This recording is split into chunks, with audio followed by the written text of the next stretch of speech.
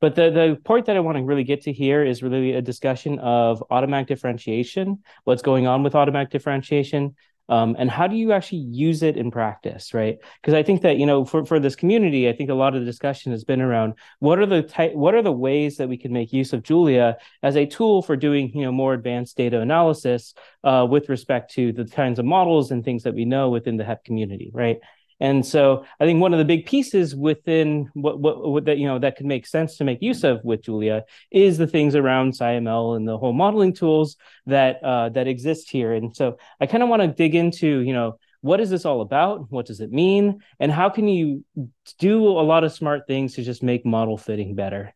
Um, quick outline of what we're going to go through because there's going to be a lot of things here. Um, the first thing is we're going to understand derivatives and their potential issues. Here, how many people think you know what cal- how, uh, know calculus? All right, cool. Uh, I, I, love asking you at the start because then after doing uh, after doing like an hour of how do you calculate derivatives, I like to ask that again, and uh, I think a lot of people change their mind on that, right? But then, uh, then the second thing is just how can uh, how must simulators uh, be modified in order to do fitting process, right? So if you're going to be fitting things to simulators, you know, how do you actually do that? How, how do you modify your simulation? And then i'm going to talk about some other things that go on within this this space of you know mixing machine learning into simulation and data analysis and, and this whole piece. So what are alternatives to direct simulation? So just kind of uh, some of the, the disperse some ideas about some alternatives to things that are requiring automatic differentiation. And then i just want to talk about the performance of simulators and deep learning if i get there uh, last time I ran this kind of workshop, I don't think I got there within the three-hour budget. So, uh, so we'll see if we get there. But um, so the prologue though is what? Why do we want to do a differentiable simulation? So, you know, what is differentiable simulation? Why are we differentiating simulators, and and why do why do we care about this in the first place? Um, so. the start of this is really we do a lot with what's known as universal differential equations or universal approximator differential equations. So the core idea behind this is the fact that you know, if you think about what a neural network is, you might think about it as, oh, a neural network is something that does, you know, data analysis, machine learning. No, no, no, no, no. Take all that, crinkle it up, throw it in, you know, Kobe, throw that into the trash can, right? Uh, the idea of what a neural network is is a neural network is a function uh, that is it takes in n objects, spits out m objects, but it has the very specific property that if the neural network is sufficiently large, then you can find weights such that for any possible function, it can approximate that function epsilon close, right? So, you know, this is this is this uh, universal universal approximation uh, theorem, right? Which is why we call these uh, uh, uh, universal differential equations, right? Ba- basically, it's the idea that you know uh, for all you know f in some nice mathematical space, right? Um, that is also on like a, a, you know, et cetera, et cetera. Again, I'm going to be leaving off like the core mathematical details here, but you know, for for every f that you can find, you know, that is sufficiently nice, um, there exists, um, there exists, uh, you know, you know, uh, okay. So if your neural network is big enough you know, so if it's big enough, what do I mean by big enough? I mean, you know, are your hidden layers large enough or the number of layers large enough? Basically, if you have enough parameters, right, then then there exists uh, there exists parameters theta such that um, neural network uh, with parameters theta on x, it spits out values and it will be able to match uh, f of x, you know, less than epsilon for all x in some space, which is a you know closed set makes it easier, right? But I mean, you know, you can generalize this in proof, and you have to kind of specify like, okay, is f continuous and et cetera, et cetera. But this is the general idea, right? So a neural network is not a thing that does data science. It's not a thing that does data analysis. It's a function approximator. And it has this property that if you choose a big enough neural network, it can approximate any function as close as you want, right? So what? Every epsilon. Yeah, for every epsilon. You get a cookie. Um so okay, so so So what do we want to do with this kind of object then? Well, what we want to do with it is we just want to have it be a parameterized object that lets us learn functions, right? Since it is a thing that can approximate arbitrary functions, we want to learn functions with it. So what we could do is we could say, well, let's say I have a mathematical model. So this is a model of predator prey. And so we have this model that says, you know, uh, the amount of bunnies when left in isolation grows exponentially. And then the amount of wolves, uh, you know, when left alone, it dies off exponentially fast. And if you put rabbits and wolves in a room together, my mother never really told me what happens, right? But there's some interaction between these rabbits and wolves, um, but we don't know how to model it, right? So this is a mathematical model where not only am I missing information, but I know that I'm missing information, and I basically am saying there is some arbitrary function that goes there, right? Um, so I want to kind of show building up to this in practice at first as like a, a, a, nice simple introduction. So the first thing is so here is not the rabbit and wolf. but this is a case uh, from from some epidemic modeling, right? Where we where we say, okay, we have 21 days worth of epidemic data, so up to this black line, and then we we fit a model and then we we extrapolate to the future, right? Um, and so okay, uh, uh first thing first thing is you just say, okay, u prime you know uh, so i'm going to model it with the with the differential equation right? What differential equation am i going to choose? Is it going to be alpha u? No I, I, I don't you know well okay maybe if it's an, if, if it's a pandemic you might want to guess it's an exponential but no you know I, I don't know the model. So what i'm going to do is i'm just going to say the u prime equals a neural network of u right? It's any possible function that could be this differential equation right and so what I do is I, I, fit any possible function from zero to 21 days worth of pandemic data, and I extrapolate into the future. And I do the neural and I do the machine learning thing, and I very confidently say that, you know, hey, COVID-19 is not going to be that bad. But, you know, what, what, what, what's what's gone wrong here? Well, what's gone wrong is that the, the, the, the basic way of doing machine learning, right, of just fitting a neural network what goes wrong here is that the, the number of, you know, if you think about it in the space of functions, right? You know, the, the set of possible functions that can fit this and, you know, is is very large. So, you know, there's, uh, you know, straight line, quadratics, exponentials. This is not enough data to really learn what that function is, right? So we learn a function that fits the data, and then from the hat that we've chosen one function to fit the data, we extrapolate forward very confidently, and we say, this is what we believe will happen, right? But see, the issue here is that we have not really specified more details about the, the space of functions that we want to actually be learning in, right? So how can I how can I start to impart that, you know, I want a function that satisfies all of my prior knowledge about how a pandemic should work, right? This is when we start to get to these universal differential equations. So here, for example, is a SEIRD model, right? So it's a it's a, one of these types of pandemic models where you have susceptible individuals become exposed Exposed individuals uh, get infected. Infected individuals either recover or something that starts with a D, right? Um, and so what what happens what happens here is that you know a, we can use prior prior knowledge or other sets of data to be able to know some of this information, right? So in a scientific model, you can use heterogeneous data to be able to say, well, what are the percentage of people who who die versus uh, recover from the disease? That's going to be this ratio between these parameters, right? So there's a lot of uh, external information we can use to come up with a lot of these uh, parameter information, right? But the thing that we don't know in this model is how do people actually get exposed to the disease? How do you model exposure to COVID 19 when someone in China had a completely different experience than someone in Sweden or Italy or the United States? Or in the United States, it depended on you know whether you're in a red state or a blue state, that could completely change the dynamics of the, of, of the disease, right? So, how do you come up with one simple function that models the exposure to this disease? I don't know and this neural network is essentially just a you know a shrug emoji right? It's a it's a mathematical shrug emoji saying i don't know what to put here. Please do an arbitrary function for me right? So this so this is the this is the way to think about it. Now if you actually think about it from a math you know so that's like the high level standpoint. From a mathematical standpoint what we specified is a function that is uh, that we, we, what we specified is a function that actually has a lot of properties that we would want in order to be able to constrain the function space that it lives in, right? So if you think about the solution to this ODE as being our neural network now, you know, there's a neural network inside of here, but our neural network is the solution to this ODE. Well, what are the properties that it has? Well, let's let's say that we have this neural network, right? Um, just to put us all on the same page here. what do neural networks generally look like? Well, what you do is you say, I have you know a, a, a matrix of weights. I multiply it and I and I do an add.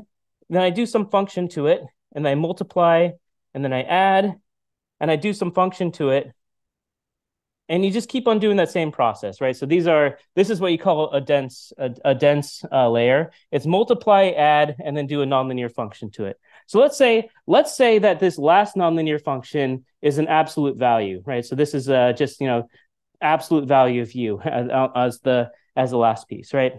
So already right here, I've already constrained some information, right? This neural network does not live in the space of all functions. You know, this is for all you know, this neural network, if I put an absolute value on the end here, it's for all f that uh, that spit out positive values.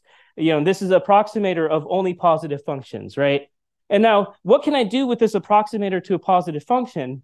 Well, if s prime, well, let's look at this. s prime, uh, this is going to be negative. This is going well minus a positive, minus a positive, minus a positive. So s prime is always negative, right? And so uh, and so from from the design of these these equations, you know that the number of susceptible people to this uh, to uh, to this disease is always decreasing, right? In fact, you could even show that it has an exponential phase at the start. Um, now, if if you also have that s is always decreasing, then uh, by the definition of e, you have it positive uh, you have it positive, positive, negative. Well, you can actually be able to show that this should actually have one peak, right? Because there's going to be a peak at the point where s gets sufficiently low, where the uh, where these uh, values end up e- uh, equaling. And so therefore, you're going to have one point where there's a, where the, there's a derivative equal to zero. And so the number of people who are exposed to the disease, and then the number of people who are infected to the, by the disease, it's going to go up, and then it's going to go down, right? and then you know you have the number of people recovering and dying they're going to be going up right so this is in in a sense what we've de- what we've defined here is that you know we're now saying like we're not learning all possible functions what we're saying in this form is this is this is a representation of all possible functions such that the number of susceptible individuals is always decreasing and the number of uh, of exposed and infected individuals is going to have one hump you know et cetera. And so if you if you think about it like that we've now constrained the function space to have a lot of the properties that we would expect from an epidemic uh, from from an epidemic by putting it in the form of an epidemic model and then we say, okay, now let's learn the function approximator that is the neural network for this exposed model, given the data that we have. And from that same data, from zero to 21 days worth of data, it's able to learn a much better approximation to what's going on in the future. Because again, you know, it's it's if our function space uh, approximations are correct, right, then learning a function f from this smaller function space should always be able to be at least as good as learning one from the larger function space, right? But that's a mathematical way of saying it. If you, if you don't want to say it in the mathematical way, you could just say, you know, this is a machine learning architecture that is more epidemic and therefore it does better on epidemics, right? But it's, you know, in, in either way you, you look at it, it's kind of getting to the same point in the end, right? But now in, in now the next thing though is that, okay, we have a computational representation to the thing that we did not know how to model so what we could do is we could actually pull this out, right? We, we now we've now trained this object. We trained this object so that way we can give it values, and it's going to give us out values. And it'll act just like the function that would have uh, that would have gone there in the first place. So you can start to do analyses. You can ask questions like, you know, which variables is this a function of? Which variables is it not a function of? You know, what is the best simple representation to this function, right? And so here, for example, we run a symbolic regression so what we do is we take this function that we've learned and we just uh, we we put in a bunch of values for you know uh, s i uh, s i and d or I think that those it was a function of s i and d right. So we put a bunch of values in for s i and d. We get a bunch of values out for what it predicts goes in the function there, and then it has it, it, it spits out like oh yeah hey this is my representation of the function, and you do a symbolic regression on the data that from the input output pairs and then you could actually have it tell you, you know, the function that you were missing in your equation here was i times, you know, some constant plus s divided by n times i plus some constant s of it, but and et cetera, et cetera, right?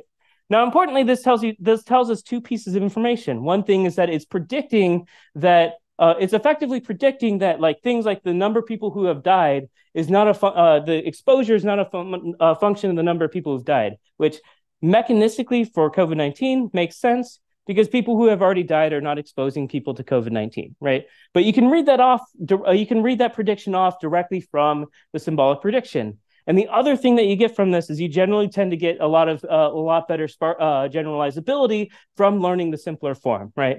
So in the end, why why did we have the rest of this model around here? Why didn't we just do a direct symbolic regression? Well, the, the point of all this is that having this model around it is really kind of forcing the learning process to, to take into account all of the prior knowledge that we have and we're only learning the piece that we don't have.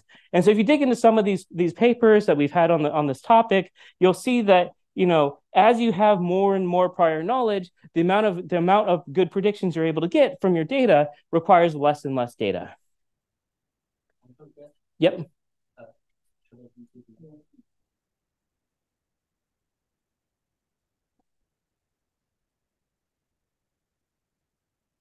Test test. Yeah.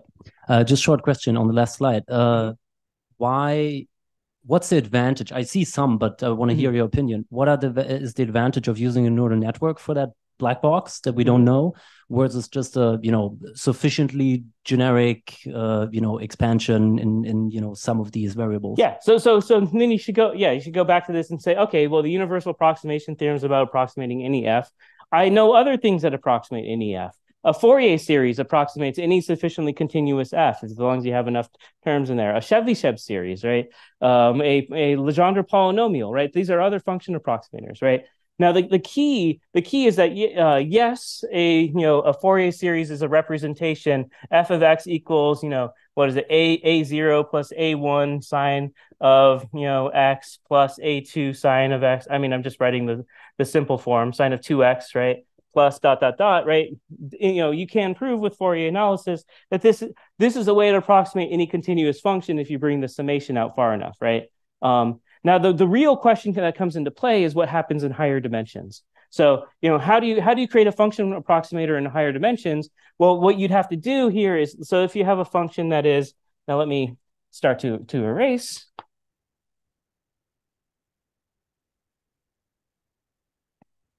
So if you have a function that's in higher dimensions, and I think that once you start to write it out, it becomes a lot more clear, right? So how, how would you do the, the Fourier, uh, how would you use a Fourier series to build a universal approximator in two dimensions? You know, f of x, y, well, what you'd have to do is you'd have the a0, then you'd have, uh, well, a0, 0, and we'll have a1, 0 sine of x, and then we have plus a0, 1 sine of y, plus um, a uh, 1, 2, sine of x, uh, sine of uh, 2y, or yeah, 2y plus, you know, a two, uh, 2, 1, sine of 2x plus, you know, uh, or sine, uh, sine of y, right, plus dot, dot, dot, dot, dot, right? So if, if you notice what's going on here, right, you start having the combination of these terms, right? And so if you have three dimensions, then the number of terms to have for the for the second part is you know it's uh it's three uh three choose two right? And then if you have if you have d dimensions then it's d d choose two dimensions just to be able to get the second uh, expansion term right? Which which means that the number of terms that it requires to be if you do if you do a this this naive uh, I mean this is really just you know Fourier in x uh, uh tensor product with uh, Fourier in y effectively you know pseudo notation there, but it's a it's a tensor product of of universal approximators. This will always give you something that is uh, that has requires exponentially many terms with respect to the dimension that you're choosing, right? Um, and so if you start going to higher and higher dimensions and you say, I want to learn a function of 20 equations, right? Very quickly, it starts to say, well, if you want to have more than a quadratic polynomial in 20 dimensions, you know you need 800 parameters if i remember correctly right? If you want to have the, the, the, if you want to have a cubic polynomial you're into like the tens of thousands of parameters. It's just the, the scaling of it is just completely off because you have this exponential scaling right? Um, and so neural networks are a universal function approximator that overcomes curse of dimensionality and there's ways to be able to formally prove that the number of parameters that are required in order to go to higher dimensions scales polynomially instead of uh, instead of exponentially And that's the key there, right? But yeah, so in, in a lot of the things that we do in SciML, we have other universal function approximators that we do use in these lower dimensional cases. But really the, the core idea of it, you're using a function approximator. The different, different types of function approximators might be appropriate in different situations. But then the, the, the key the key there in the end is, you know, you know, you know, you choose the right function approximator to have the minimal parameterized form uh, in, in any, any situation. But the general the general idea is that you write down a model where you know some things and where you don't know some things, and you use that to be able to fit your your function approximator, and where it's now a, a function approximator that's only approximating, you know, it's only using the data to approximate the things that you didn't know, right? And from that, you can do things like, you know, do the symbolic regression and have it spit out a mathematical model, which is this is our best guess for how we would have auto completed our model, given the data that we have and given our prior scientific knowledge, right? And so this is this is then this is then a, a general form, and I'll, I'll get the code set up for for showing off this this example here. This is an example that we now have as a not not just within you know these these notebooks. This is one of the examples we now have within the SciML documentation of showing this in, in practice, right? So um, a, a, group of Julia developers use this on a binary black hole system, and just as a as a nice uh, exemplary example, where what they show is effectively, you know, assume that you know, assume that you know Newtonian mechanics, right? So this is new, Newtonian mechanics in a rotating frame, and you want to learn the motion or the equations of motion for a binary black hole system, right? You have these measurements from a binary black hole system. That's what uh, LIGO detected with gravitational waves back in what was it in like 2018 well 2013 i guess it was a while ago at this point but it feels still new um, but you know the, the, so for example so you have this binary black hole system. You assume that you have uh, you assume that everything's newtonian mechanics. And you go well you know there's this guy einstein. I don't know if you've heard of him but he said that newton, newton was wrong right? So let's see if newton's actually wrong. So let's add these things on here that says you know there should be extra terms in our equations of motion. And let's learn those those extra terms of the equation of motion and extrapolate out from it right um, and you can see this the, the data that is trained on are these black data points. Uh, the the true waveform, you know, so the, the the data of the waveform in the future is in blue. The data of that is the predicted waveform is in orange. And you can see from a very small amount of data, it's able to learn a fairly complex time series, right? And this is the key, right? The reason is because you know uh, relativity is I mean, it gives you a very, it gives you very different dynamics, right? So the dynamics of Newtonian mechanics for a two-body system is an ellipsoid, while the dynamics from the uh, from the two-body solution in relativity is a Lissajous pattern, right? But in a dynamical sense, it's actually a small perturbation. It's just a small perturbation to the equations that causes that difference. And so by writing down that, hey, we know most of the we know most of the physics. There's just a, some relativistic correction here. Um, then it's able to learn from a relatively small amount of data how to do a, quite a quite a nice prediction, right? Um, and we do this in, in, a lot of scenarios. So here, for example, is a scenario where it's modeling a, a chemical reactor system. And so with this chemical reactor system, you have a, you have a chemical reactor uh, so you have this chemical that's bound to the to to you know the, this this plate essentially, and you're flowing another chemical over it. So how, how would you model that? Well, it's a partial differential equation where you have a diffusion advection process, right? That's the so so that first process there is this this chemical that's flowing over over the, the, the reactor. And then you have another chemical. So you have a C, which is the concentration of a chemical at every point, and then you have Q, which is this this chemical at at a, at a single point, right? Um, and as you and so what you have then is you have some chemical reaction going on between them, and so you have a a, a, a reaction term, a nonlinear reaction term that you're trying to learn, right? So if you think if you think about this setup, um, let me let me do like a draw like a little picture here.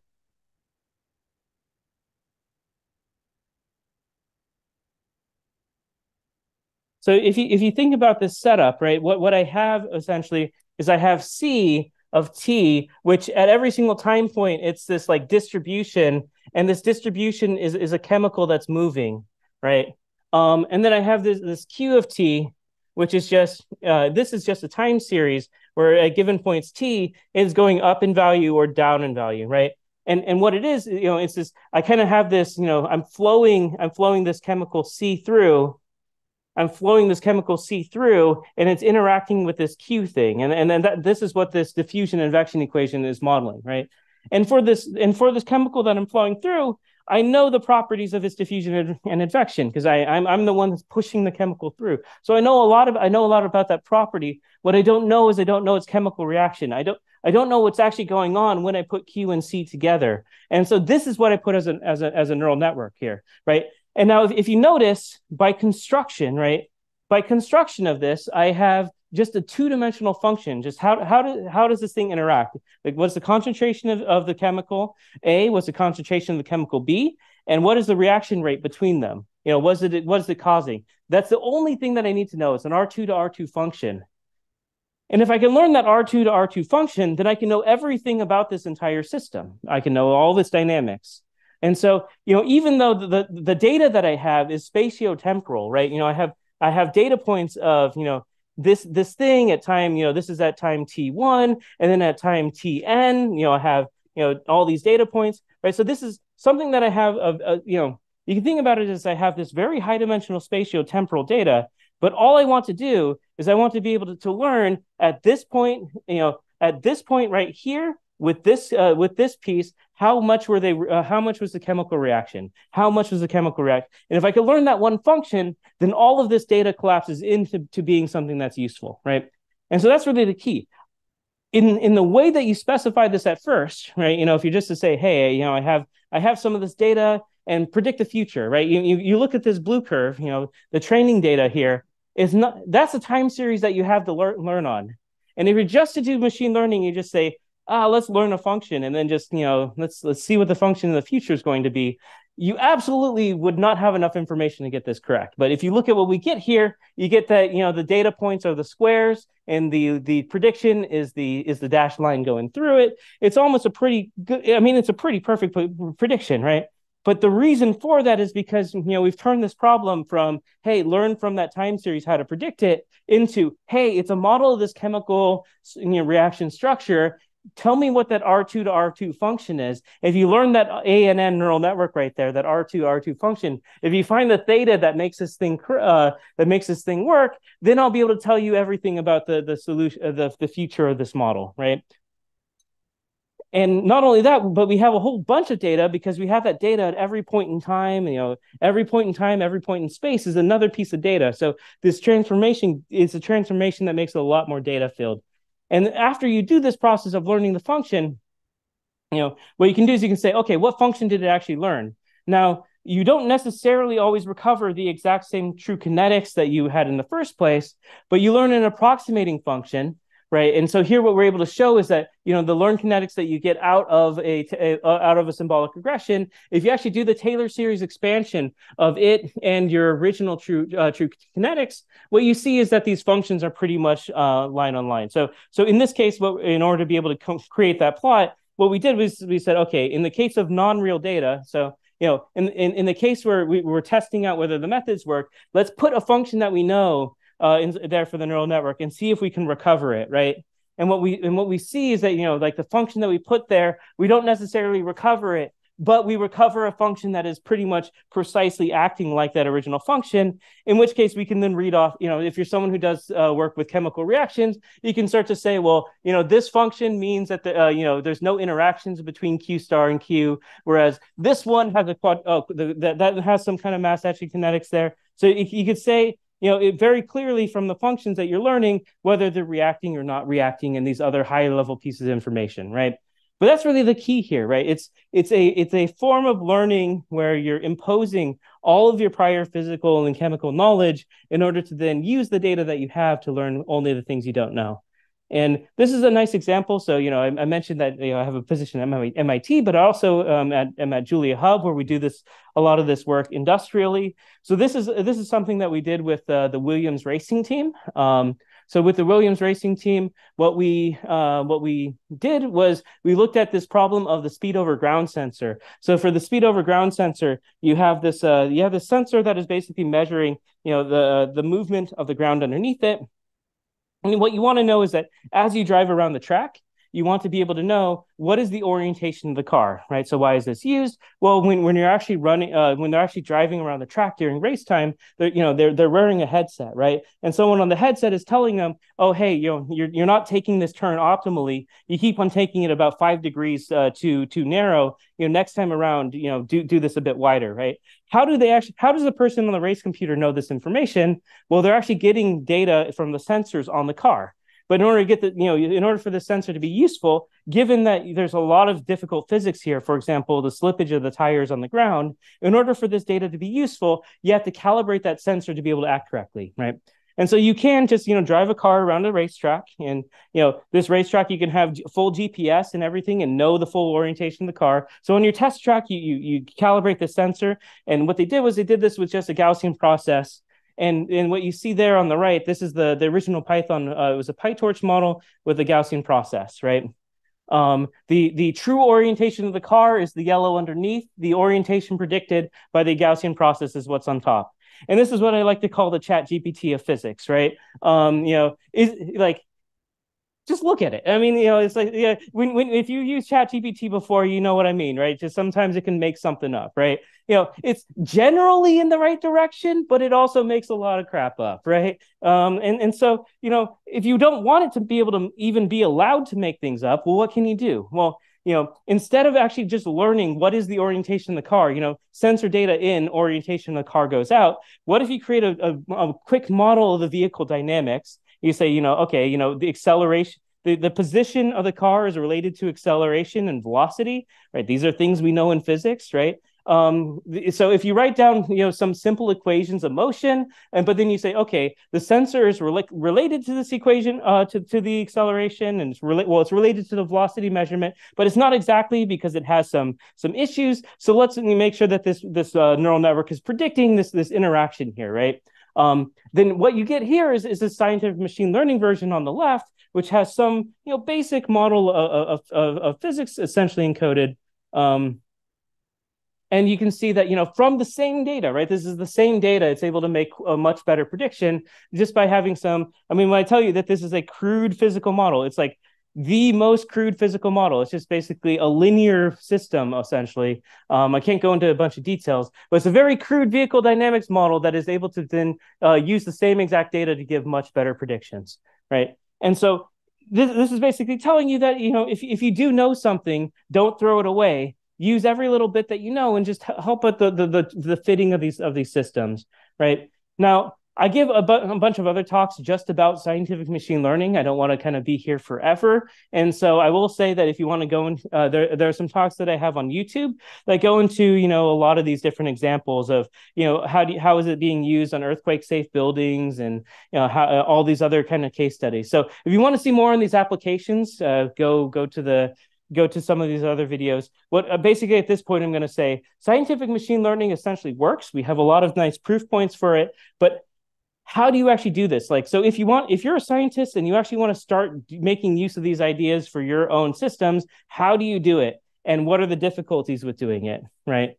And the first question that you have to ask in the how part is does doing such methods require differentiation of the simulator? Because ha like okay let, let, let's let's go into this in detail because maybe this question doesn't even make sense yet. So let's let's look at a case here. So uh, this is a case that we're working on with uh, some of the folks from the CliMA Project, where what goes on in, in a climate model is, well, the base of a climate model is that the ocean's pretty big. I don't know if you've heard about that yet, right? But but and so you can't really just model the entire ocean. What you do is you chop it up into little ocean blocks, and in these ocean blocks, you know, you you you essentially they need to be doing Navier-Stokes equation. Like Navier-Stokes equation is this three-dimensional partial differential equation, which you've probably heard is like one of these very difficult ones to solve, computational fluid dynamics, right? If every climate model had to actually do computational fluid dynamics at every single part of the ocean for the whole world, you know, for many many years, it, it's never it's you'll, you'll never finish the computation. So what do you actually do in practice? Well, what you do is you approximate a block of ocean by a one-dimensional partial differential equation that is the average heat flowing up and down. So, you know, what is the average heat of this slice? How is it moving up and down? And what what is what is this average heat uh, over time, right? So can I approximate this three-dimensional, Boussinesq approximated Navier-Stokes equation by a one-dimensional partial differential equation? This is like the, the core of what's known as the ocean parameterization problem. And if you do the, the normal physics thing, you know, you say, okay, I write, I write, I do a Taylor series expansion, I have my first terms, and everything that's greater than the first term is close enough to zero, so let's make it zero, right? Then you have this equation, which is everything without the neural network, right? But since we know that, you know, since we know from our derivation that there are higher order terms that we just set equal to zero, what we can do is you can say, what if, you know, what if our higher order terms are not zero, right? What if our cows are not spherical, et cetera, et cetera, right? Now, if you do this, now it might be hard to actually write down, you know, all these extra equations. In fact, in this case, you can't do it. It would require infinitely many one-dimensional PDEs to, to do this, right? But what you can say is that there are some terms that we that we did not write down, and so let's capture that in a neural network, right? There's there's some there's some extra functions in our series. It's plus something. Uh, how do we write down something? Something is neural network, right? So there we go. We have we have a way to represent that we have. You know, we've done our physics. You know, but instead of doing it the, the textbook way of just doing it to first order, this is first order plus something extra. And what we can do is we can say, well, if if, if we want this model to be correct, it should match the behavior of the three of the three-dimensional model, right? It should be able to run Navier-Stokes equation in three dimensions, and the way that the heat is moving up and down, the, the solution to this model should give me the same thing. So that that then gives us a data set to be able to learn what should that neural network be, such that we are now capturing uh, the, the, such that my approximation equation is the right thing, right? So now, how do I actually train this neural network? That's I have not. I've told. I've shown you like you know six cases with neural networks, and I told you absolutely nothing about how you train them, right? So how do I train this to this guy? Well, uh, you know, I want this. I want this capital T to be to be the average heat flow or the average heat in one of these in one of these horizontal spaces, right? Um, so the average change, the change in the average heat over time. Well, I can I can approximate the average heat of a change of heat over time, right? I can go to this. I could go to my three dimensional simulator, and I can say, okay, you know, what is the average heat in this green slice right here? How does it changing over time? I can take the first differences up. I can take the first differences down. I could create a data set that is, you know, this average change of heat over time. Right? I can create a data set for this thing. And I can I can build this operator. This operator ends up being a matrix. I can invert this matrix, et cetera, et cetera. I can build a data set then that is what is the average change in heat over time? And what is my prediction of what it should be given my model? and given your current values of the of the of the of the temperature and then uh, the neural network should just be that residual there right you minus everything out you get a you get a data set that is you know here's my current average heat here is my here's my residual term and i can train a neural network input output to match that data set right and i could so i train this neural network to be to be on this data set and I stick it into and I stick it into uh, this this PDE, uh, put it in a PDE solver. I solve the PDE, and this is what I get and the lines don't look i mean like the other the other animations that i showed you looked a lot nicer and this one just doesn't look as good right? In fact it has a very it has a very specific behavior here where at the top you have this this this divergence in the solution. It's just growing and growing over time right? So why is that happening? What, what's going what's gone wrong here? Well there's two ways to understand what's gone wrong. The first thing which shows up uh, uh, the first thing is that what I described to you, right? That we build a data set here, we build a data set here, and we train a neural network to be able to, to match our residual, and then we stick it into our simulator. Well, what if our simulator is not perfect, right? Our simulator, right? If, if you know when you write down something that's matching continuous equations, you have you have to choose a delta t, you have to choose all these properties, right? There's numerical errors. Everything else is in here, and nothing. You, in, in theory, your neural network actually has to take into account these pieces. You've taken into account none of that. And so, of course, it's not going to be able to match your, your your your data so well in the end because we haven't really given it the right information, right? There's another way to understand this as well, which is, you know, I know a lot of people here probably know at least a little bit of control theory because uh, using it within a experimental context, right? What we what we've essentially done here with the neural network is we said we know that our derivative is wrong, so let's put let's put a controller here, a neural network, and let's train it to control the derivative to be correct. And if we only train, if we only control the derivative, what happens? Well, you get a drift, right? That's your that's your standard control theory. So if if you're to talk to a control theorist and you say, "I got this drift because I only controlled the derivative," what will they tell you to do?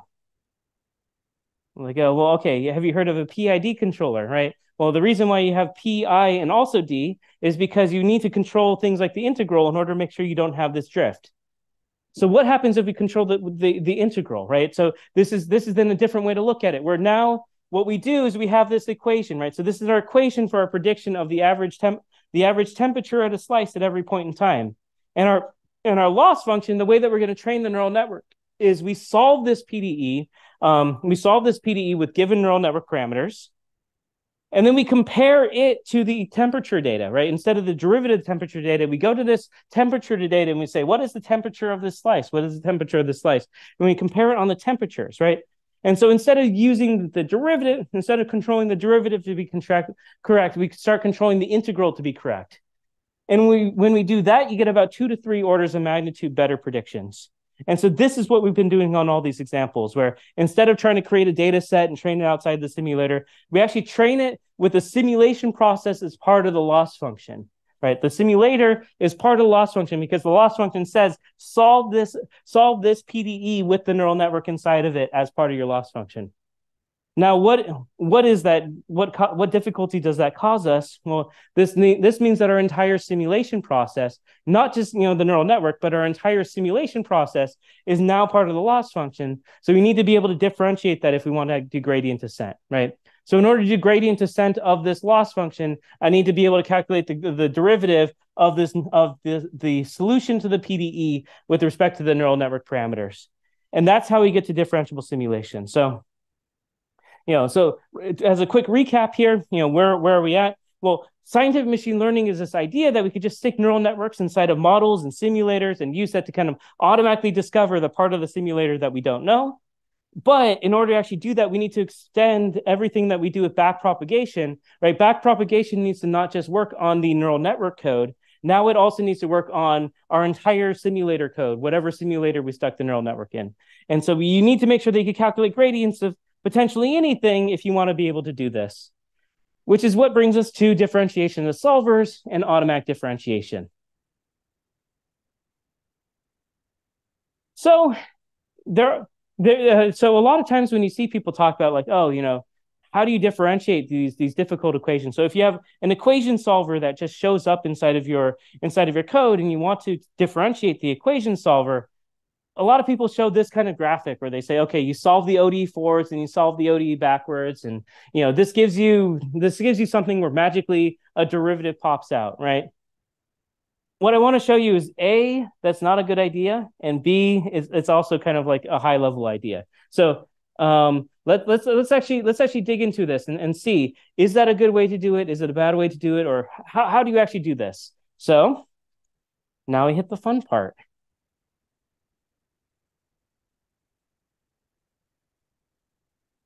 So there, basically, any equation solver you can do this on, right? So I, I want to just kind of emphasize that what I'm showing a lot of these examples on are, are ODEs and PDEs today because you know there's a lot of physics which is written in ODEs and PDEs.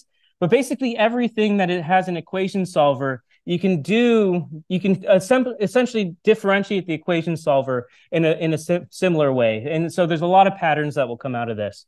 I'm only going to focus on ODEs and PDEs because of time, but I do have a bunch of course notes that goes into all the other cases as well. Um, but I mean, you know, for example, so if you're doing like density functional theory calculations, well, that has a nonlinear solve inside of it. So how do you differentiate Newton's method? You know, all, all these kinds of cases come up. In fact, what Gaurav talked about earlier today with a stochastic AD, that was developed for differentiating stochastic simulators itself. But you know, let's let's go through the process of actually looking at you know, at a high level without automatic differentiation, what it, what is the derivative of a simulation process, right? So, well, first of all, what is a simulation process? A simulation in this case, we're going to say is an ODE. So it's u prime equals f of u pt, you know, with some uh, u of zero equals u zero, right? So this is my simulation process. I have some ODE that I'm solving from from a from a time zero, right? And now what, so what is a loss function on this thing? Well, I mean, u of t is something that's continuous. So in general, the loss function is some function that I'm going to say is, you know, the loss function.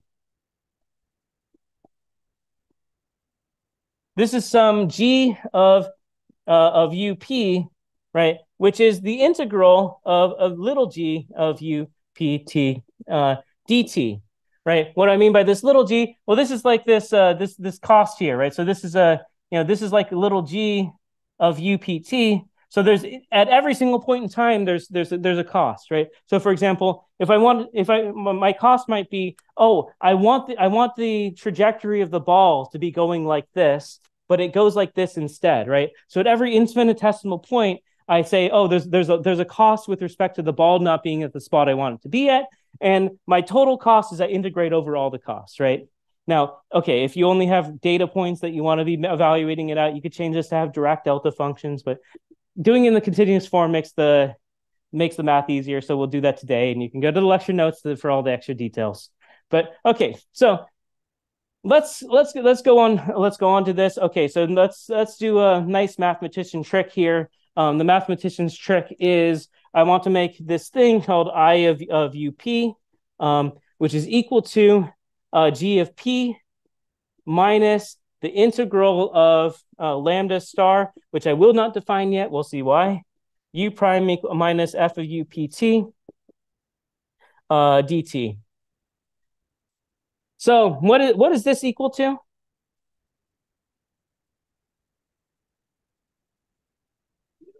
Zero, yeah, because u u prime equals f, right? So you know this again. This is your this is your standard thing in a math class. I'm gonna I'm gonna add zero, and then it's gonna be really useful by the end of the class. Um, so so okay. So what am I gonna do here, right? So what I really want to know is I want to know what is the derivative of my loss function with respect to the parameters, right? Which just so happens to be equal to the derivative of this i thing with respect to parameters, because because this is zero, right? So you know, if I could add zero all I want and take derivatives, it's going to be the same thing. And now this is going to be equal to da da da. Now let's actually write this out for clarity. Uh, t uh, t. Uh, so okay, so what what what do we actually have here? Um, so yeah, so so what what I ended what uh let, let me just write out one of these pieces and then we can we can we'll be on the same page, right? So what what I'm what I'm doing here is I'm saying this is d dp of the integral of g of upt, right? dt, and uh, you know because because I'm not going to be a good mathematician today, I'm going to say, well, let's uh, let's swap these these limits, right? You have to say, you know, okay, if u is sufficiently different, okay, we can swap these limits, right? Under under sufficiently nice uh, assumptions. Um, and after we swap these limits, uh, what is this going to be? Well, remember that the solution, the solution to this ODE is actually a function of our parameters, right? If we change the parameters of our model, if we change the, the, the, gravitational constant, then the planets will be in different places, right? The, the solution to our model is actually a function of, of the parameters. It's kind of implicit. We don't always say it, but it's, it's in there, right? But if you do that, then that means you need to make sure that you do, you know, dg, uh, dp, you need to do this with respect to the chain rule, which is a, you know, uh, partial g, uh, partial p, plus uh, partial g, uh, partial um, partial u, d u dp, right? That's that's this is the the chain rule applied to this function that is, that is you know where uh, both this argument is a function of p, well that's and then also this argument is a function of p, and we expand out the chain rule, right? Now I do I do the this uh, this other way of writing it where I just say this uh, this right here is g sub p plus uh, g sub u uh, du dp, right? This this uh, little this this little uh, subscript here is just it's just denoting that is a partial derivative, right? So that is g sub partial of g with respect to p plus partial of g with respect to u times s, where s is the sensitivity of the model, which is the, amount that the model's output changes when you change your parameters. You'll see that it's going to show up in multiple places. So okay, so that's one term. You, you know, the the next term uh, exercise is left to the reader, but it's just another application of the chain rule, right? Um, so okay, so that's how we that's how we get the expression there. And now I want to do something a bit fancy. Um, what I want to do is I want to gather all the terms with s. So if I want to gather all the terms with s, well, what I need to do is I need to turn this s prime into a, into an s. So if you, if you ever have a derivative inside of your integral and you want to turn it into a and you want to turn it into something that doesn't have a derivative, how do you do that? It rhymes with integration by Bartz. yeah, integration by parts, exactly. You know, so okay, so what I'm going to do is I'm going to do integration by parts, right? So I'd say, you know, if you remember your integration by parts formula, it's integral of u dv equals uv evaluated at the boundary um, plus uh, plus uh, v integral of v du, right? Basically, the thing that was a derivative now becomes a thing that's not a derivative. That's that's the that's the way we were going to make use of this, right? So okay, when, when you do integration by parts, you know, so we, we separate out this one part of the integral, and then we do integration on by parts just on the lam on the lambda star s prime part, right? And why do we do this? Well, we do this in such a way so that way lambda is this this u here, uh, s prime is this dv, and we're using this to be able to get rid of the the the s prime term, right? And so th- this is just your integration by parts formula. So we, we do integration by parts on this f on, on this piece of the equation right here, and then we we add it to, to the rest of this integral, right? So the rest of this integral right here, this is that integration by parts of this thing. Um, and when you do that, this is the full expression that you get. If you want to see all the steps written out line by line, you can go to the lecture notes of the SciML course that we ran at MIT. If you search MIT 18337 Scientific Machine Learning, you'll you'll find the YouTube videos that go through this, right? But here you are. Now I claim that we're done. This is this is actually informative. And you're like, how is that actually informative? Well, okay. It's informative because I haven't actually chosen how to define everything, which is a oxymoron, right? I still have never told you how to define lambda. So let's define it in a very in a very nice way so that we would get a nice result. That's a nice mathematician trick, right? I haven't defined something yet, so let's define it so that way everything's easy. So how can I define it so that way everything's easy? Well, okay, so let, let's, let's first look at this term, right? So lam, lambda star, lambda star uh, of t, s of t, evaluated at the boundary t zero and t t final is equal to lambda star uh, at t0, s of t0, plus lambda star at t final times uh, s uh, at t final. And I claim that this term right here is actually trivial. Does anyone see why that, that term is trivial? Well, we haven't defined lambda yet, so it must be something to do with s. Um, s, remember, is our sensitivity, right? S is the derivative of the model with respect to parameters. So what is the derivative of the model with respect to parameters at the, at the initial time point? How much does our model change when we change our parameters when it's at the when it's at the initial point? Zero. Aha, so that's trivial. Okay. So what's this term? Oh, that's non-trivial. But wouldn't it be nice if it was trivial? So, okay, let's define lambda of t final to be equal to zero. Good. All right, because we never defined this function. Good. Okay, so so this term right here, you know, this this whole term right here is zero. Great. Life is easy. Uh, what do we do with this guy? Well, let's define that to be zero. Right? So well, all that we need to have is that lambda prime or lambda star prime minus, or lambda star prime plus this minus that is equal to zero. If that's true, then all those, those that, that, that integral also becomes zero. And that is just a differential equation, right? It is this differential equation right here. If this differential equation is true, right? So where did the where did this come from? Well, this is this is making this term zero, right? And what is this term right here? Well, this is just the integrand of that integral, right? This is this, this integrand of this integral has a derivative on a lambda. And so it actually is a differential equation, right? So we just say, I want this to be true. I want this to be true because if this is true, that term is zero, that term is zero. And now all I'm left with is this equation right here, that the, deri- the derivative of my loss function, uh, ignore, ignore this first term because uh, well, okay, if, if the sensitivity of your model is, uh, if your initial condition is dependent on parameters, that first thing is non-zero. But if your initial condition with respect to your parameters is, you know, if your initial, if your initial condition is fixed, this term right here is zero, and all you get is dgdp equals some integral of g, lambda, and f. How do you know what lambda is? Well, it's solved by this differential equation. And there you go. If you can solve that differential equation, then then you have the way to calculate the derivative. Which let's let's actually look at what what this means, right? It's actually it actually kind of is interesting what what you get in the end here. Because you know if you can understand it at a higher level, and it kind of tells you what to expect when you go to a bunch of other simulation cases. So what what what you get from here can be drawn as a picture.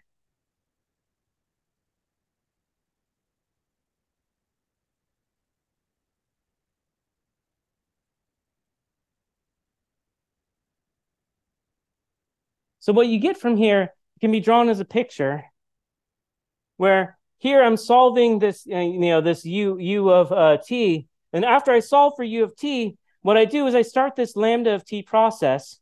I start it at zero and I solve it backwards, right? Because I'm given a final condition, right? It's an initial condition at the final time point, and I can solve this differential equation backwards. But every single point in time, what I need to know is I need to know right here, I need to know the derivative of f with respect to u at this time point. So I need to I need to remember what u was at this time point in order to calculate the derivative of f with respect to that. But as long as I remember what what this u is how this u is calculated, if I remember all of its values in time, then I can define this ODE and I can solve it in reverse, right?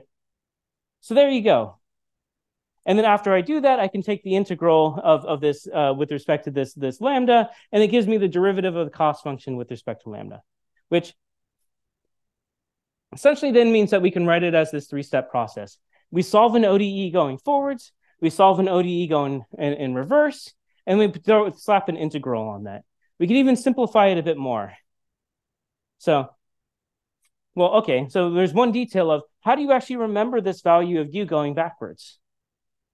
right? Well, you, you can you can just you know you can use an ODE solver that gives you out a continuous solution. You can take a bunch of points and then say you're going to build an interpolating polynomial between them. So that way, when you need to have this value of u at every time point, you can grab it. And one thing that you can remember though is that you know numerically, um, if you have u prime equals f of u going forwards, then u prime equals minus f of u going in going in reverse will actually go directly along the same lines as long as uh, as, as long as you you you know have that the correct as long as you have this final condition which is equal to the original condition right? So you know it's this idea that physics is reversible right? Um, that's a way to be able to write it. So you know what, what you could do then is instead of just solving this lambda equation going reverse right? So you have lambda prime equals some ode right? What you can also do is you can also solve this u prime equals minus f at the same time. And so you can solve this system of ODEs.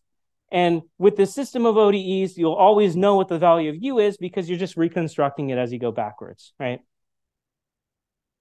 I know that some of you go, well, what about numerical analysis? Okay, I'll get to that in a second. Um, now, okay, what do you do about this? Inter- what, what do you do about that integral? Well, it, you, you, can actually use a nice property, right? So uh, let's say we want to calculate, um, let's say we want to calculate f of t dt, right?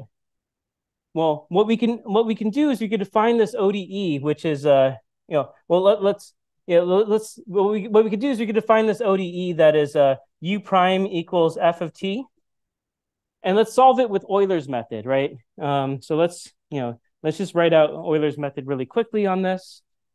Oh, actually, I, I don't want to get get in the way of my nice picture here that I got going. So what what does Euler's method look like on here, right? So then you'd have u1 equals u0 plus delta t times f of uh, t0, right? u2 equals uh, u1 plus delta t times f of t1.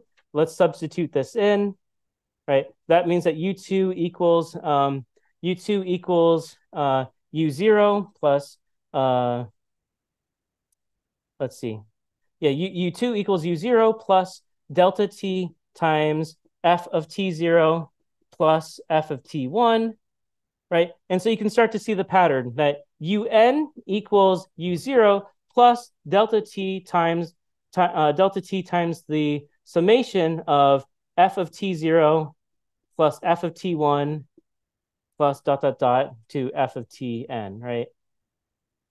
Does everyone does everyone kind of see that, right? So if you if you just write down Euler's method on this ODE, you get un equals the initial condition plus delta t times the f, the times f evaluated at each of these time points. That's just Euler's method written out to n steps.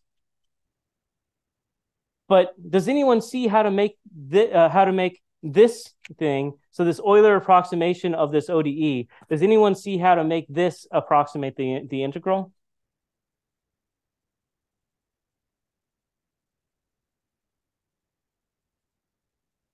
Delta t, right? So this is this is an area, right? This is like you know a delta t, and then you have uh, f of t, right? f of ti, and you have all these different points where you're adding together f of ti. This is this is effectively a trapezoidal rule, right? But it's not the trapezoidal rule because you have this guy, right? So if you want this to be the trapezoidal rule, what does u0 have to be equal to? Zero. So so if you want, so you know, more like this is a kind of a side story. If you want to solve, if you want to solve an explicit integral using an ODE solver, what you do is you just stick that integrand into the ODE solver as the function, and you have a, a zero initial condition. And what will come out of it is the the thing that comes out at the end of your of your ODE solver is the solution to that integral. It's just a nice trick, right? But what this nice trick means is that we can also do this, you know, mu prime where mu of, of capital T is equal to zero. So mu at the last time point is also starting out as zero. And we have this pseudo ODE going in, in reverse, which is the integrand of the thing that we want to integrate. And then what we have right here, what, what we get as mu of zero, does anyone see what mu of zero is equal to if we do this?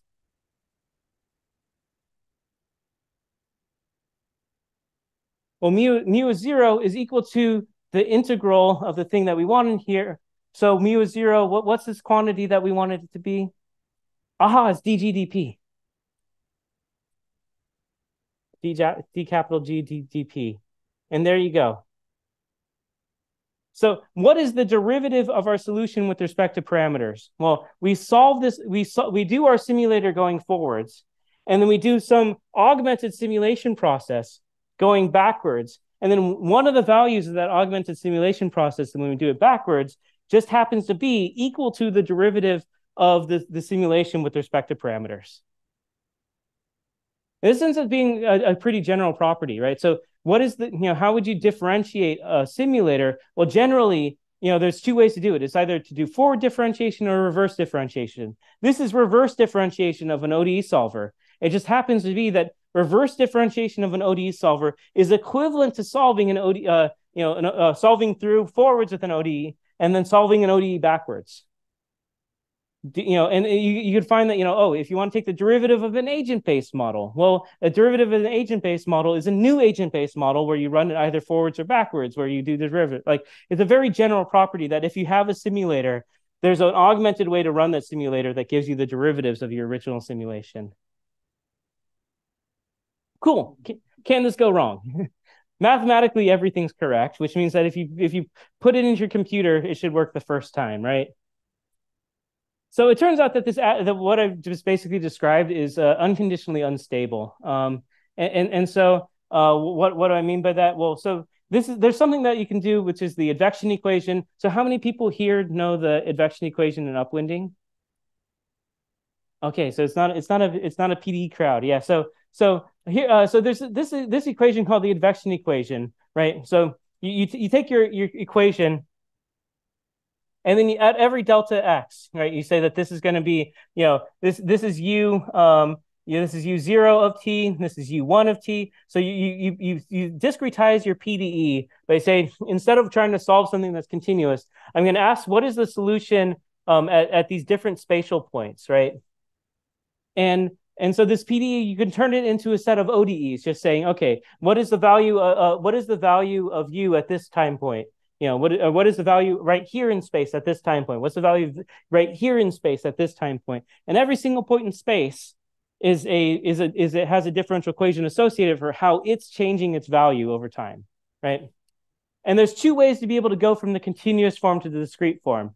You can either you know, so so here's the thing, right? So it's a uh, it's du dt equals you know a du dx, right? And so this du dx, well, do you want to do it by Do you want to do it by the forward one minus the the uh, this one divided by d delta x, or do you want to do it by the by the the one behind you minus here divided by delta x? Right. Both ways are ways to approximate the first derivative. And so, can you just choose? Uh, can you just choose arbitrarily which which way you're going to do this differentiation? Right. So there's two different ways to be able to write this down, so that way you get an ODE. But I, I'll, I'll tell you now that the, the analytical solution to this PDE is it's just a wave moving forwards. So it's just this, this wave moving to the right. And so if you write if you write down this discretization where you say, okay, you know, my uh, for this point right here, I'm going to look to the right, and I'm going to use that to tell me what the derivative is in uh, right now, right? And then the other way of doing this is you look to the left, and you and you use the value from the left to tell you what the derivative is. Which, given that the wave is going to the right, which one do you think is, is the right way to do this?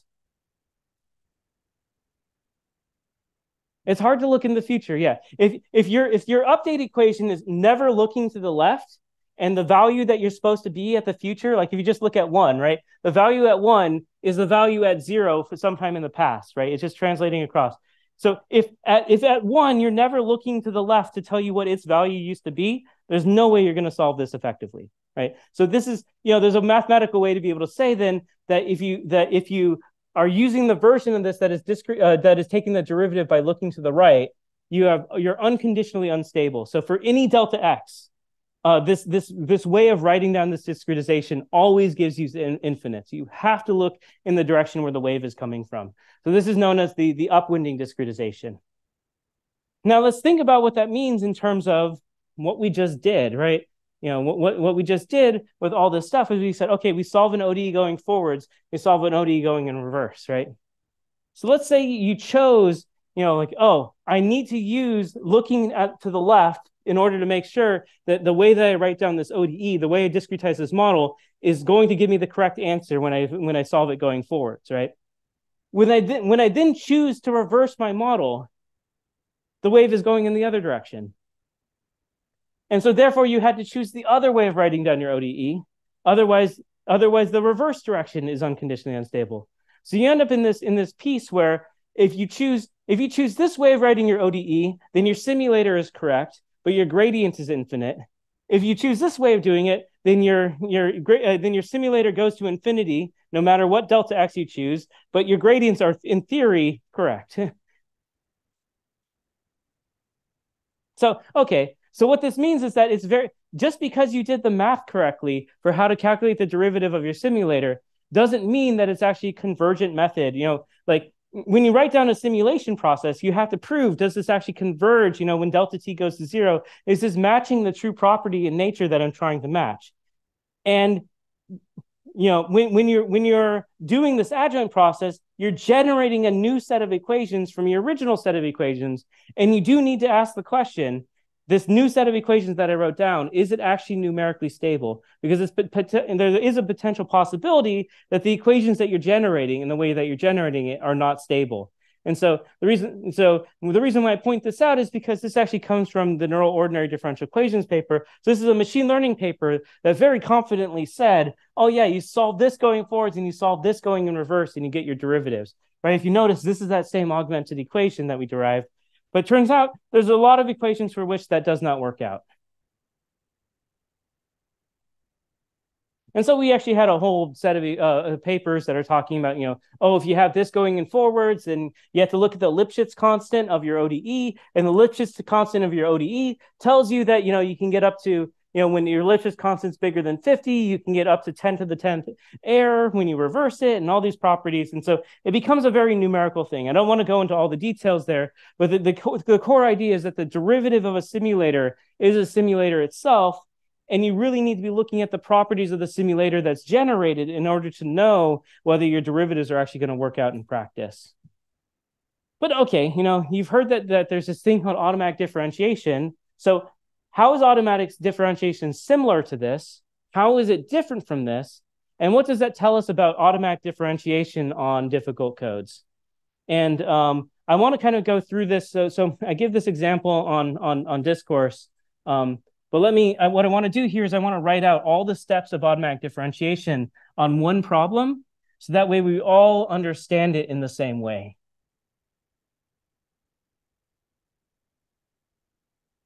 So let's start by saying what is symbolic differentiation, right? Because we want to we want to understand how is symbolic mathematics different from automatic differentiation. So symbolic symbolically, what we what we do is we represent a function mathematically, and then we differentiate it. So here I'm using Julia symbolics. I create a symbolic variable x, and here's my function. Right, my function is make out equal to one, and then I multiply out uh, to the x to the ith power. We do that in a loop, and I and I have out right. And now I say, okay, let's let's evaluate sine of f of x, right? This is some this is some function. You know, it's a composition of different functions. And you know, if you actually sit at this and stare at it long enough, you'll be able to see like, oh, this is actually the sine of f of x is actually the same thing as sine of x of 15, right? And if you if you evaluate this with with symbolics, what it will do is it'll generate this mathematical expression. Symbolics will say the mathematical expression that is equivalent to this function is sine of x to the 15th, right? So that's how symbolic computing works. It can trace through these these compu- these computational functions and give you the mathematical way of writing down that function.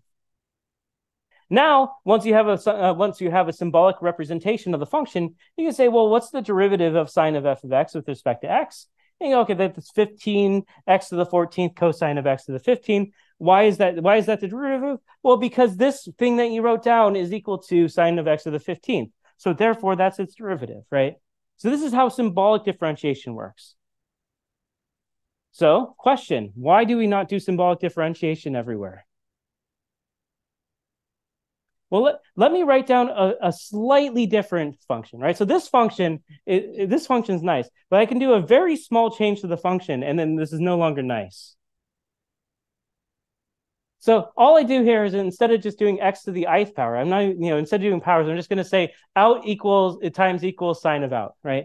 This is also another function. It's very easy to write down. It's a small for loop. And I say, what is f uh, sine of f of x? And this thing goes on and on and on and on and on, right? What is the derivative of this expression? Well, okay, you have to do the chain rule on this whole thing. It, it take it would take like I can't you know it takes like five pages just to write down the derivative of this thing right? So this is the expression growth problem, right? There are some things that are very easy to express as programs, you know, or, or as easy to express as algorithms, which are not easy to express as a single computational, you know, or mathematical function. So what we want to do then is we don't we, we don't want to be able to we don't want to do our derivatives in the space of mathematical functions. We want to send the way that we think about derivatives to the space of computer programs. So instead of saying, oh, translate this translate this computer thing to math and then do do derivatives on it what i want to do is i want to translate derivatives to computer program language right you know it's just what is the language that i'm computing derivatives on instead of computing it in the language of math i want to compute derivatives in the language of algorithms and now let me go step by step to show you exactly how this is working right? So he, he out of curiosity, here who here knows uh, uh, the definition of dual numbers for for for forward mode AD. All right, so it's about about fifty percent. So let, let's let's go into this uh, fast. It's a uh, so what we what we do is we have this dual number d. d is equal to x plus you know epsilon. Epsilon here is not a small number; it's a dimensional signifier. If you, if you think, for example, like complex numbers, it's like i. So what, what we're really representing here is this is a two-dimensional number. This is a this is a two-dimensional number. This there's x, y, you know, there's this x, y here. So d is some two-dimensional number, right? But we're calling it epsilon just as it has some nice properties like that, right? So, okay, so we have this two-dimensional number. And what, what we want its properties to be are this, right? We want epsilon squared to be equal to zero, and we want f of uh, f of d to be equal to f of x plus y f prime of x epsilon. Right?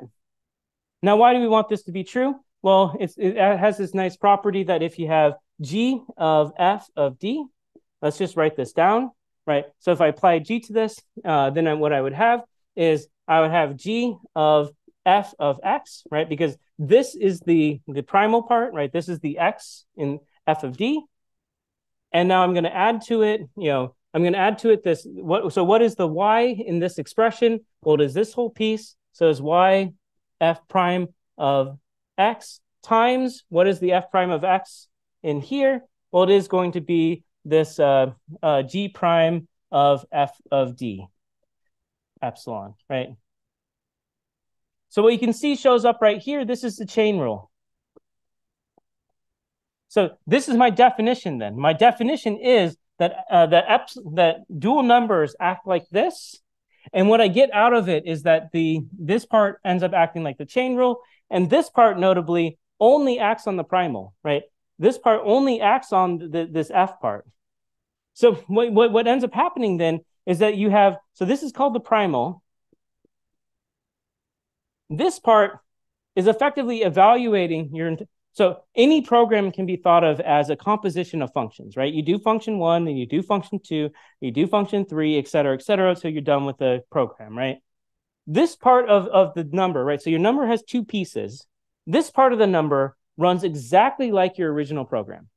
You know, it, you do F to it, you do G to it, it's going to evaluate exactly the same thing that you computed before.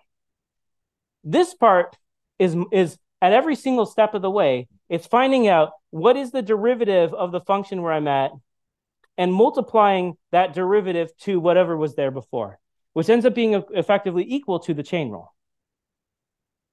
And so from these properties, we actually get something nice out. So from these properties, um, you know, the claim here is that for some arbitrary, for arbitrary uh, f, which is equal to fn composed with dot dot dot, f2 composed with f1, right? So if you have an arbitrary, you know, chain of functions, you have the property that f of x plus 1 epsilon is equal to f of x plus f prime of x epsilon. And how do you get that? Well, you just make y equal to 1, right?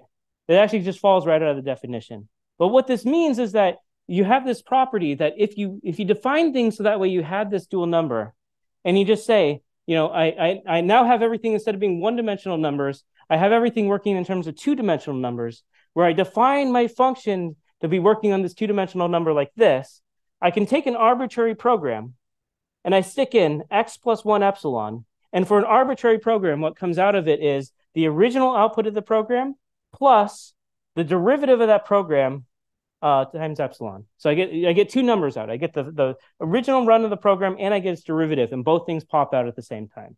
So let's actually let's actually see this in practice. I think when you when you when you do it out on an example, it makes much more sense. So okay, so in our program right here, well, let's skip over the x uh, out equals x. That one's trivial. But so before, what we did was we said, okay, we had this this you know. So remember what our computation was. It was uh, you know, it was do sine of out at each time, right, and, and then multiply to to to out. So let's split that up into two steps.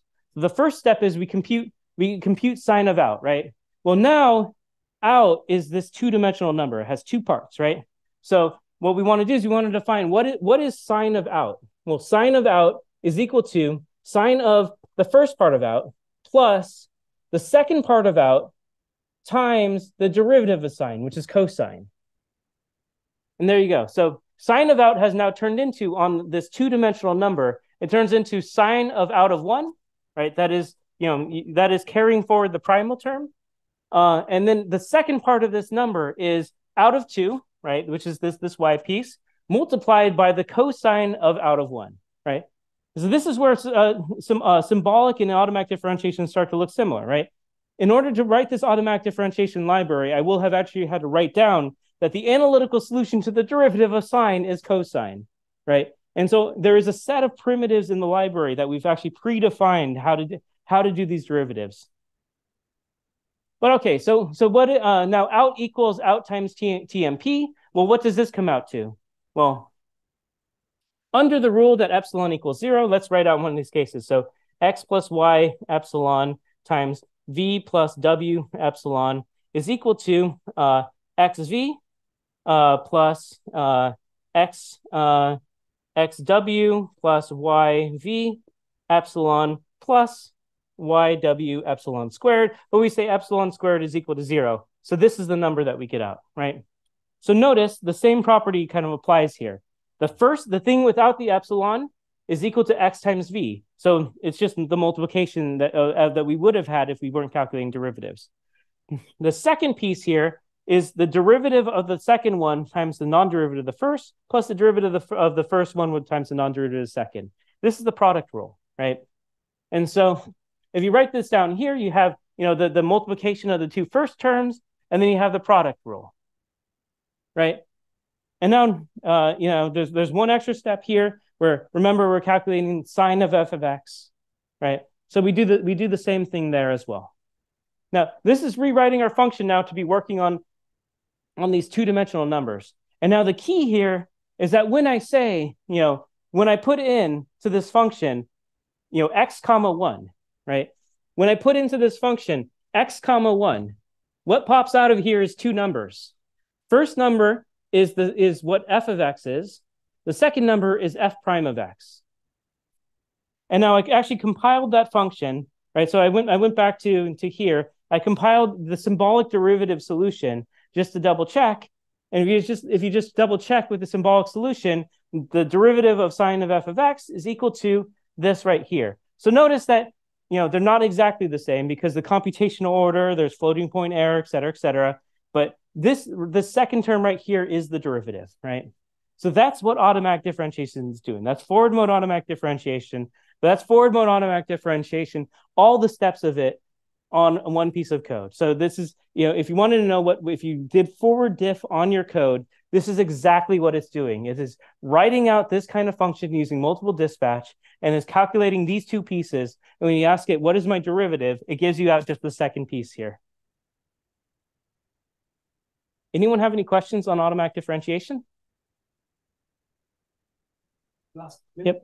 So where are we at now? So we started this by saying scientific machine learning is cool, right? We we get to to put neural networks inside of our simulators. We could use that to be able to understand the physics that we didn't know. We could use this to be able to uh, extend models, right? But if we want to do this, what do we need to be able to do? Well, we need to be able to calculate derivatives of simulators.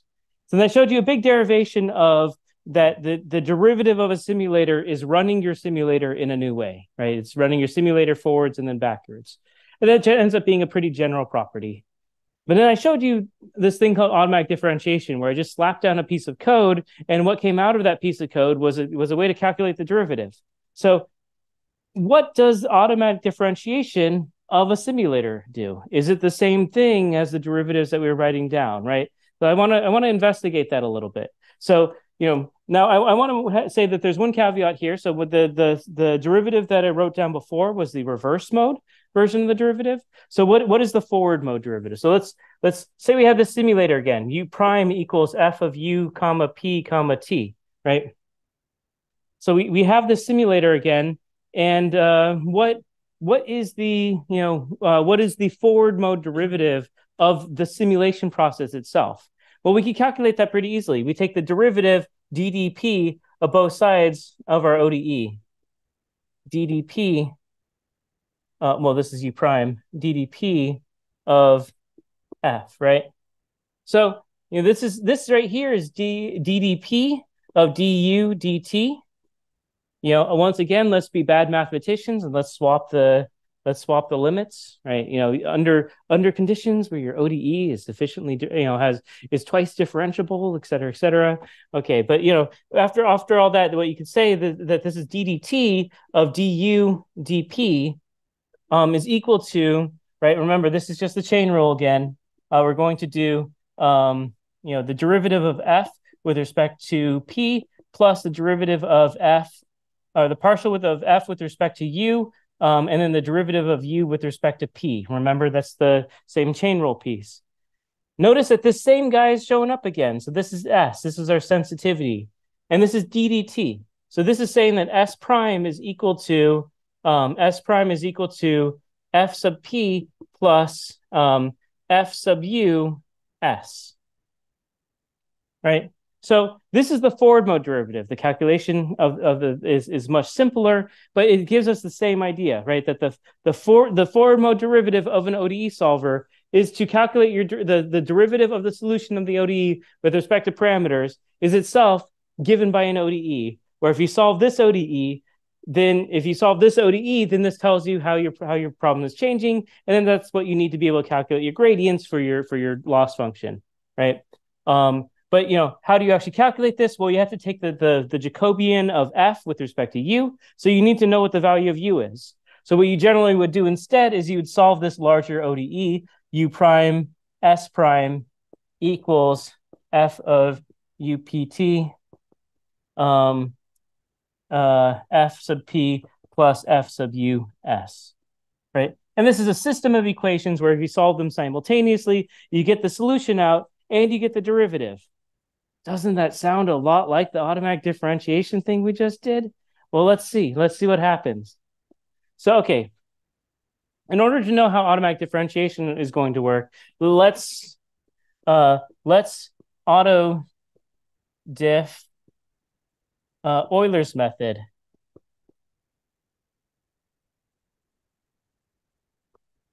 Right, so let's let's write let's do the automatic differentiation transformation, right? The forward mode automatic differentiation on Euler's method and see what we get. So Euler's method for ODE would be u of n plus one is equal to u sub n plus delta t times f of u sub n p comma p comma t sub n right? This is Euler's update uh, steps. Now, assume instead here that u is a dual number. So uh, let u, uh, let, us let u uh, sub n be equal to x sub n plus y sub n epsilon. It's a, it's a dual number now, right?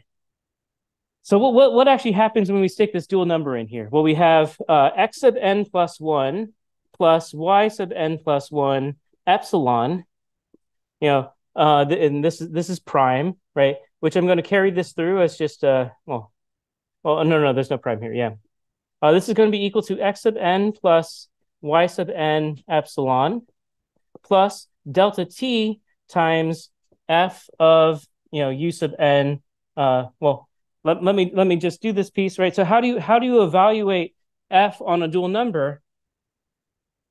Right. Well, this is going to be f of just the first part, right, x sub n uh, p t n plus f of uh uh well plus uh the uh f or the derivative of f with respect to uh this is not a nice way to write this um I'm just going to say f prime and it, what I mean by prime here is I mean derivative with respect to the first piece, right? Um, so this is x prime of x p t n uh, times y sub n uh, epsilon. Right? So how do how do I do this? Well, this is just what happens when you stick a dual number into f, right? You you evaluate it, you do it on the primal, and then you do its derivative on the primal times the the y sub n part, right? But now I have let me gather this into two into two sets, right? So we have you know x sub n plus one plus y sub n plus one epsilon is equal to x sub n plus delta t f of x sub n p t n plus y sub n plus delta t f prime of x sub n comma p comma t n um, uh, da, da, da, uh, y sub n epsilon. I believe I did that correct. Right? And so we can actually see, okay, so x sub n plus one, you know, if, if we if we match the terms, right? So we we have you have the the the primal part and the dual part here. What, this is telling you is that the way they calculate x sub n plus one is equal to xn plus delta t f of xn comma p comma tn.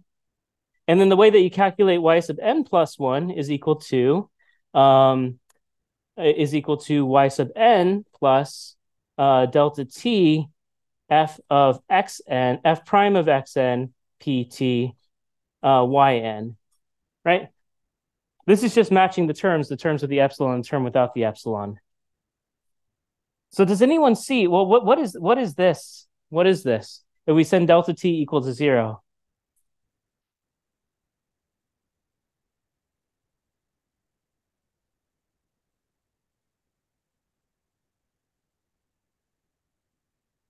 What is that equation for x actually doing? What does the primal part of automatic differentiation always do?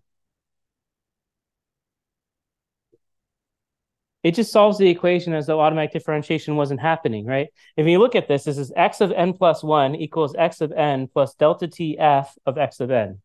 This is Euler's method on x, right? So this is Euler's method solving u prime equals f of u.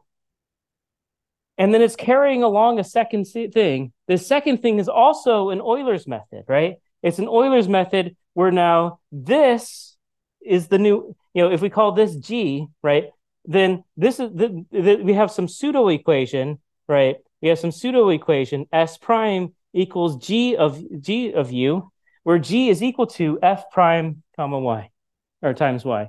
It just so happens that that's exactly what this is. Right. And so uh, does anyone know why we don't have this term showing up here?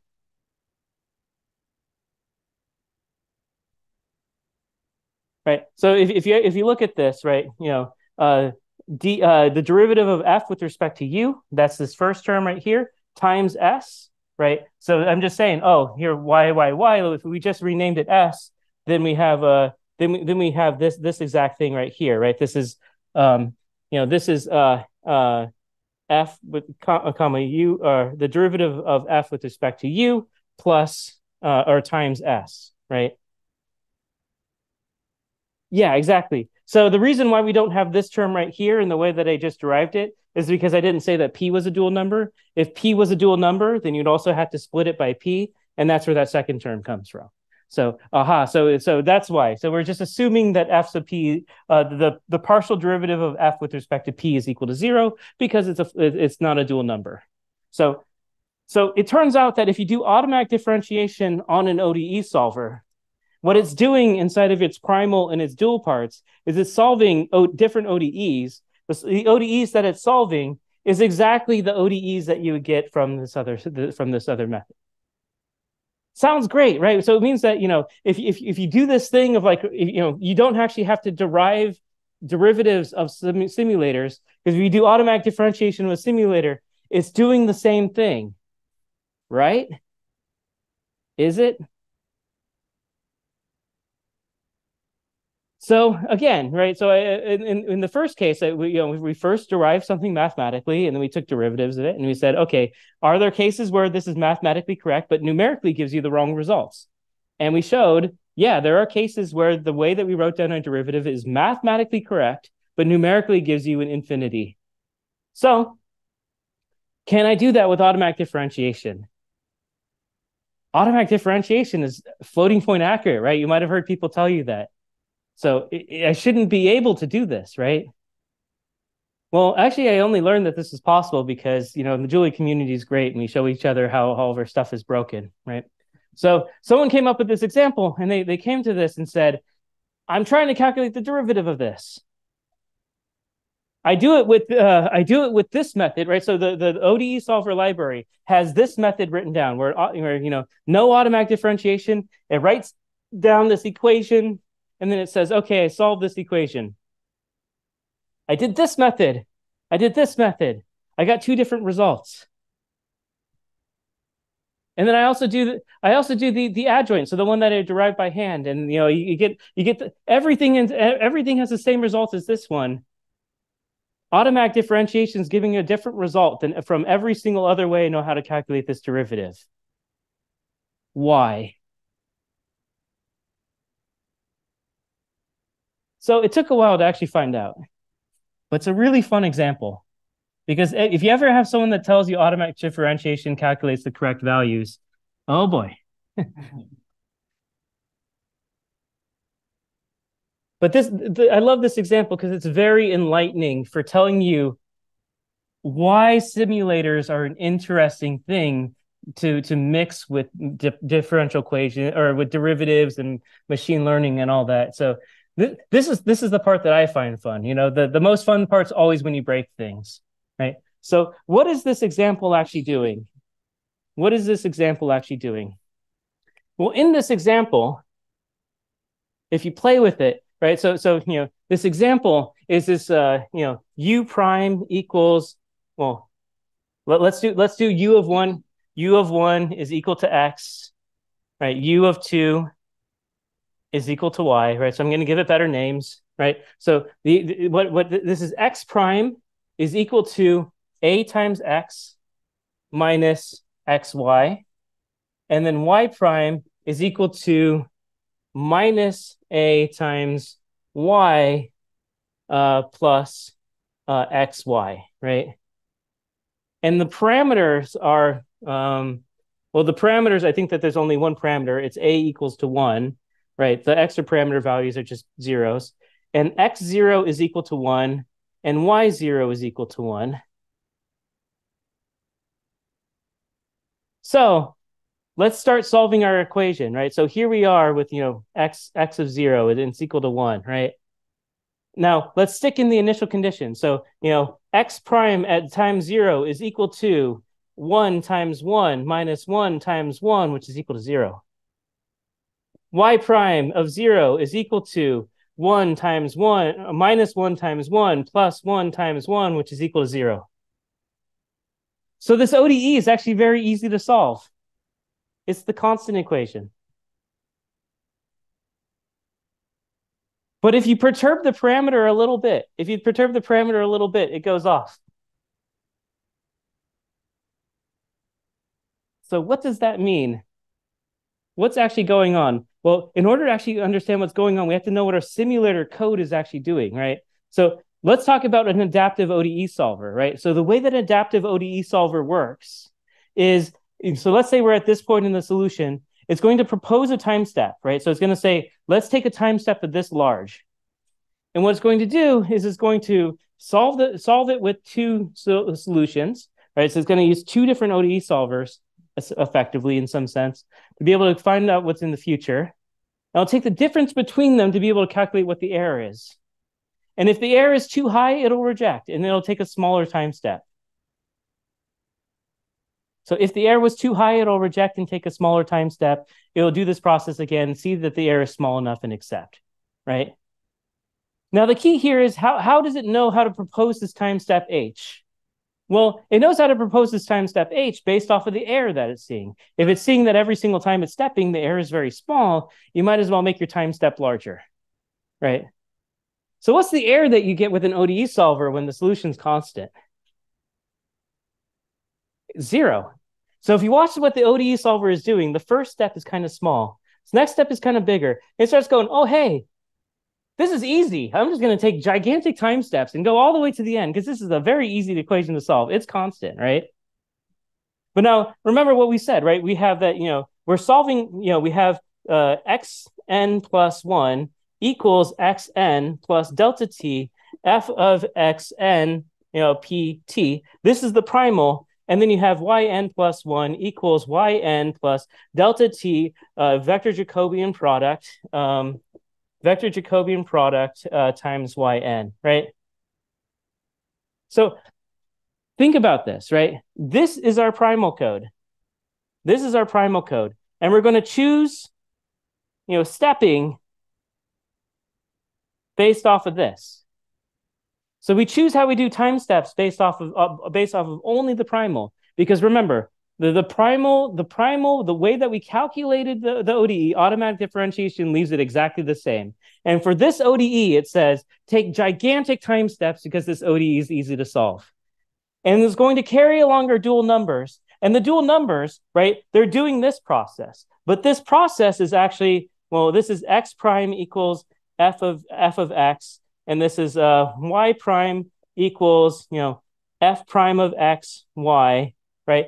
This, this, other ODE is being solved using the time steps that is appropriate for this ODE right here. But this ODE is actually doing something non-trivial. And so therefore, when you put those two facts together, automatic differentiation is calculating the derivative with using a process that is not actually controlling the the accurate the, the accuracy of the solver on its derivative. And so when you look at it, this is why you get that you know that the original AD has an incorrect solution. Forward sensitivity is doing something correct, but we actually corrected this inside of the ODE solver. Can anyone guess how we might have corrected this?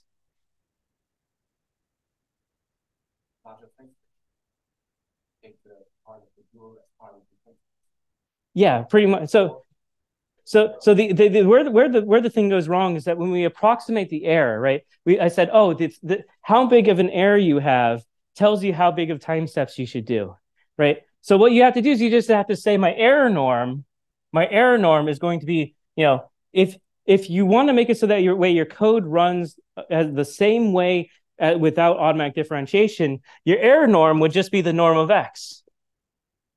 But if you do that, it won't be actually controlling the the the the the um the the error of this extra process that is carrying around. So you can redefine your norm to say every time I take a norm inside of the ODE solver of the error, I can take the norm and I'm going to add the dual numbers to it, which means you no longer have the property. If you do this, you no longer have this is no longer standard automatic differentiation, right?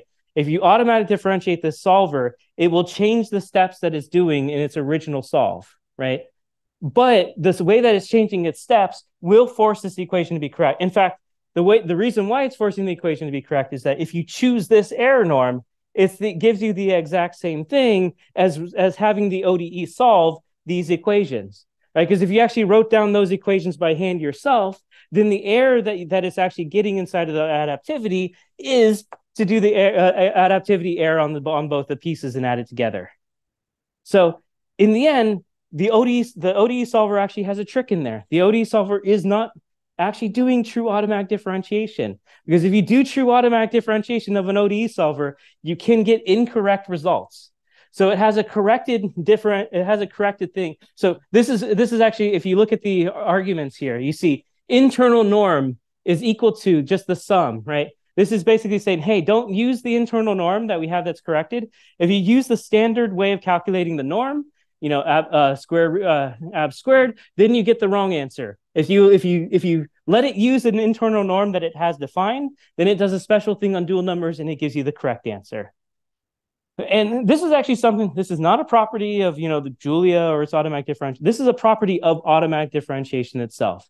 If you take a code that is a simulator process um, and you say, oh, you know, let's automatic differentiate it, right? And you, you go to someone's ODE solver, you can write down this example and you can show them, hey, your automatic differentiation is broken, right? And you'll play with their head, right? Because they'll it'll take a while to figure out. It's like, no, the implementations on, of automatic differentiation is not broken here. This is a property of automatic differentiation that it does not necessarily calculate derivatives correctly when you have some kind of numerical process that's going on is something that you really have to keep in mind. Um,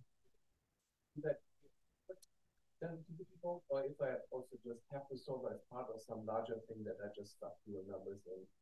Yeah, so so so um well, yeah. So, so what it what it basically sees is that if you have your initial condition or your parameters be dual numbers, it's defined the the the you know it's def, it will define itself to make it so that way the the state will always turn into dual numbers, and then it will and it'll put this norm in there to be able to correct itself. So it, it basically corrects itself so that way it's hard for you. I mean, you really have to go out of your way and redefine the norm in order to make it calculate the wrong thing. But this is an internal library thing, right? Before we added these corrections to make it not act like automatic differentiation, it was incorrect because it was doing automatic differentiation. Which is very, I want to be very clear about that, right? The, the correct calculation of automatic differentiation is the wrong derivative.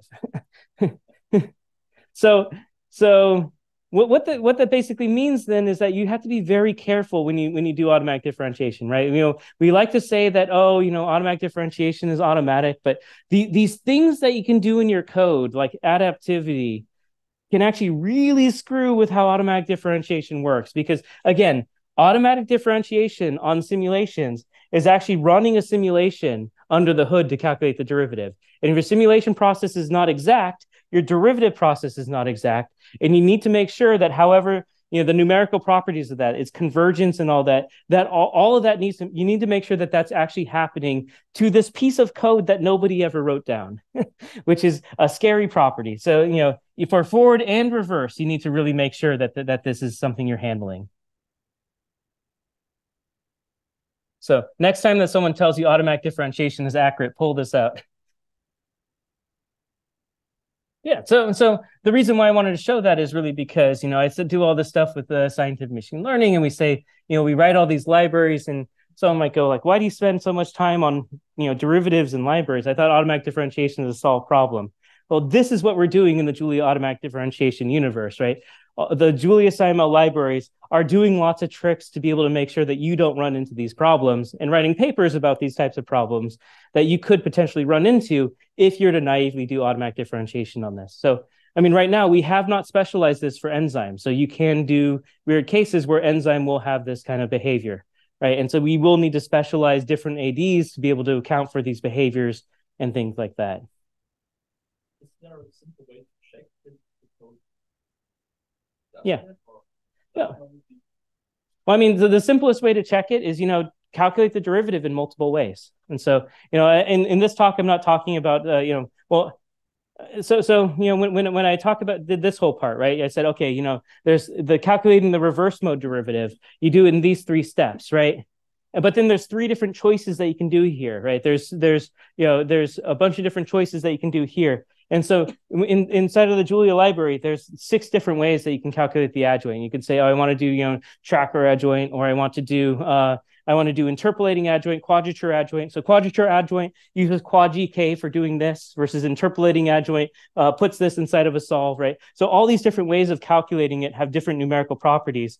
And what you should do is you should just double check. Hey, if I calculate the derivative in two very different ways, am I getting the same solution, right? Um, I mean, in general, we've made sure that most of these issues have gone away, but there are some very fundamental issues with derivatives. So you should double check. Um, so, for example, what is a fundamental issue of a derivative that you should be aware of, right? So um, here's one. So here, here's a function that's really hard to differentiate. It's the identity function. It's really hard to differentiate. You want to know what? Let's look at the code for the identity function. Uh, f of x um, it, so here's my function f of x. Um, if x is equal to zero, then I want to return zero, else uh, I return x, right? This is the identity function, right? Isn't it? Right? When when and when x is zero, you return zero. Otherwise, you return x. That's that's the identity function, right? Look at this. Okay, let's do automatic differentiation on this. Let's put you know let's put zero comma one into here as a dual number, right? Uh, it does the primal thing, so it goes right here. And so it says, oh, this is a constant. So the return is zero comma zero. So the derivative at zero is zero. Single point. yeah, you don't care about single points. Your, your automatic differentiation is allowed to be allowed to be incorrect on a set of measure zero. Um, you know, just zero is a very significant measure zero set. I think I told someone that that the other day that you know zero is a very significant measure zero set in a lot of cases. Um, but yeah, I mean, this, this is the, if you do this inside of ForwardDiff, you'll get the you'll get zero. If you do this inside of PyTorch, you do this inside of JAX, you do this inside of I think like Boost C or all these automatic differentiation libraries will give you out zero here. It's a you know so you automatic differentiation is a tool. It's a nice tool to have. You should know its limitations. Um, its limitations include behaviors like this, and also includes behave weird behaviors on simulators.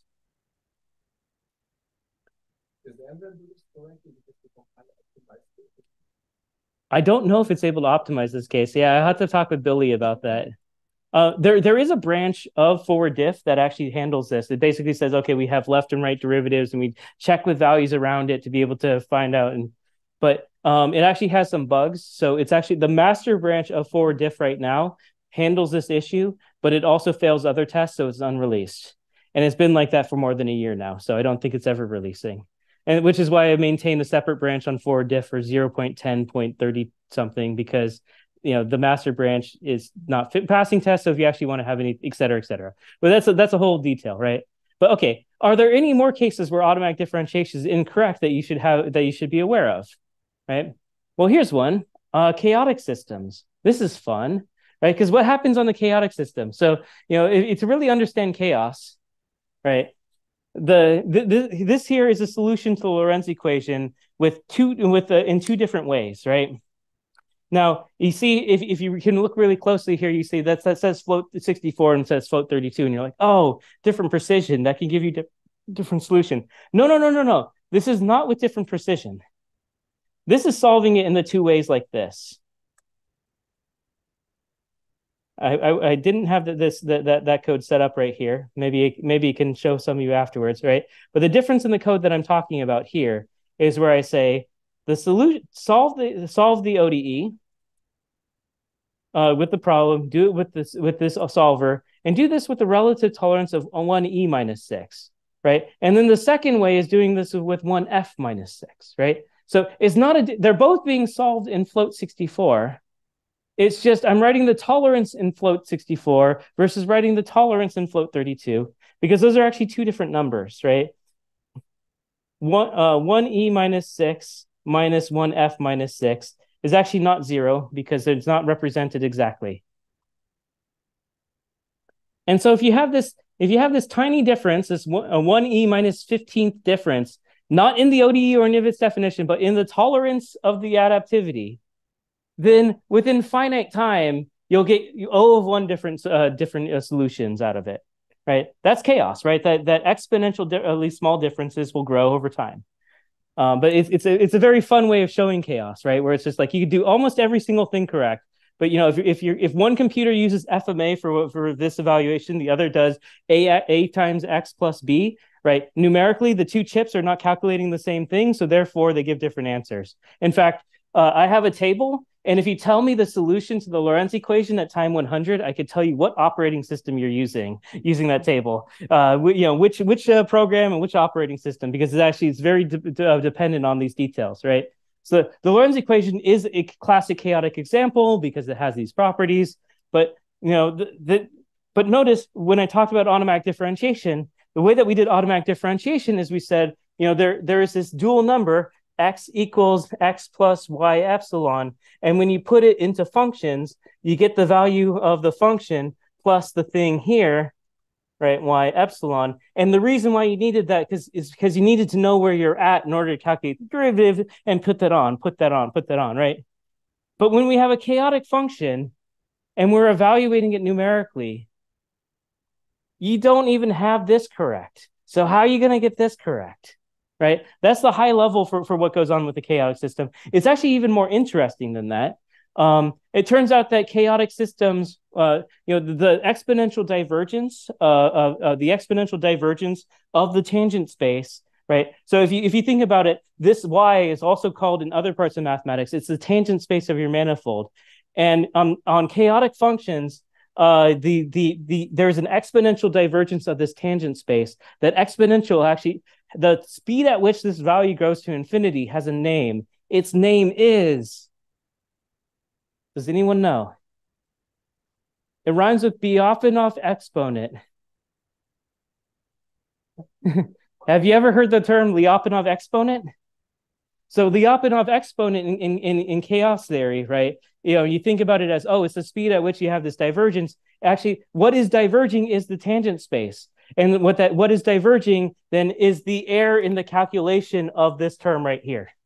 In fact, you know, if you, one way you can think about uh, chaos, the, the, the way that you calculate the uh, the the um, the way that you actually calculate the Lyapunov exponent, you can actually do it by, with dual numbers. Put dual numbers into a chaotic uh, system. You watch how fast it, it, it diverges, and that rate of divergence is the the Lyapunov exponent, right? And what that means is that if you if you calculate if you try to use automatic differentiation on a chaotic system, you start solving this chaotic system out, you'll notice that it'll, it'll tell you this derivative is very large, right? It's going to be exponentially growing. It's exponentially growing as fast as the the Lyapunov exponent, right? So it will give you a value. You know, if you actually plot this out, you'll see that it's just an exponential curve. So never trust the derivative of ForwardDiff or automatic differentiation on a chaotic system it's going to just give you a value that's go- growing and growing and growing to infinity. Um, so, you know, th- this is with it just solving from time equals t of from zero to 100. If you do this from time t of zero to one, uh, 200, I think it finally goes to inf, right? Because then it starts to grow even faster. So, so therefore, you know, one way to understand this is is because if you if you don't have another way to understand this, the reason is well, you can never solve the equation in the first place. Uh, so you know if you can't if you can't get that correct why are you going to think you're going to get that correct but there's there's other properties that are really cool about this but now the big question is can you actually do differentiation on these kinds of systems anyways right well to understand that property you have to understand how come we even look talk about the solution to the Lorenz equation, right? But I just told you that this whole thing is incorrect in the first place. How do we write ODE solvers down that get the butterfly equations, even though I can tell you your solution has O of one error, right? Well, it turns out that that that a lot of these chaotic systems, well, an ergodic system has a nice property, which is called the uh, the shadowing lemma. And the shadowing lemma means is, the following, right? So let's say we, we we solve this ODE and we got some solution, right? But it's chaotic. Which which means that you know this solution has O of one error. Like its error is sufficiently large, you know, you can you can look at it and be like, oh, it's completely wrong by this time, right? The shadowing lemma actually, what it actually says is that the solutions of the attractor are dense in the space of the initial conditions. And what, do, what does that mean? Well, it means that there exists a different initial condition where if where the analytical solution to that different initial condition, which is epsilon close, is what you actually solve with your numerical solver. It's a wild fact. It's called the shadowing lemma, which means that with these chaotic systems, you so, you get an analytical, you get a, a real solution to the ODE for just a different set of initial conditions that was epsilon close to the one that you had. You know, so you're like that. That's why people in the end you say, oh, you know, that actually is what the attractor looks like, right? Because that is just that is the real solution for just a very smallly different uh, uh, initial condition, right? And turns out that that property is, is actually very useful because that what that property tells you is that there's a way to be able to take samples of initial conditions in an area and evolve that forward and see how that sample grows. And if you have a process of letting that go forward and then you have a way of shrinking it, don't want to go into all these details, but you know, if you have a process of carrying forward these particles, you don't necessarily get the derivative of the solution at any time point because you don't know where you are. But what you get is the derivative of the solution over all uh, uh, averaged over all time, right? So so uh, th- these are called these ergodic properties. So the average of this, you know, if you let this butterfly equation run out, you know, infinitely long, you have this you have this image, the attractor, right? And you can and you can start to write down properties like what is the average value of z in this attractor over all time? What is the average value of x? Turns out that those are the ergodic pro- properties, and those are well defined and the statistics of the of the solution those statistics are differentiable right? So that's this is the average quantity of z with respect to this parameter rho of the of the Lorenz equations. It's almost a line it's diff, you're differentiable with respect to that. And it turns out that you can change your automatic differentiation in such a way that is working on particles and doing QR factorizations. So that way it can calculate the derivatives with respect to these ergodic quantities these are these least uh, share shadowing, adjoint least square shadowing. These are these special di- uh, differentiation methods within some of the SciML tools, which handle this type of property, right? But basically, the, the point is, you know, if you have special properties that you know of of your simulation process, you have to be careful on how you calculate the derivatives. Naive calculations of derivatives are completely incorrect, and you need to make sure that you're using special methods to be able to correct for that behavior. And so that was the conclusion of part one. I don't even think I'll get to a lot of the other parts, but I think the conclusion there is just be careful of how you compute derivatives of equation solvers, right? So how do we tie this all back to the world of, of Julia? Well, I mentioned that we're doing all this for scientific machine learning. And so what we've been developing is the SciML interface, right? So SciML is this common interface for Julia equation solvers. It has equation solvers for linear solvers, nonlinear solvers, differential equations that has ODEs, SDEs, and all these things, optimization, partial differential equations.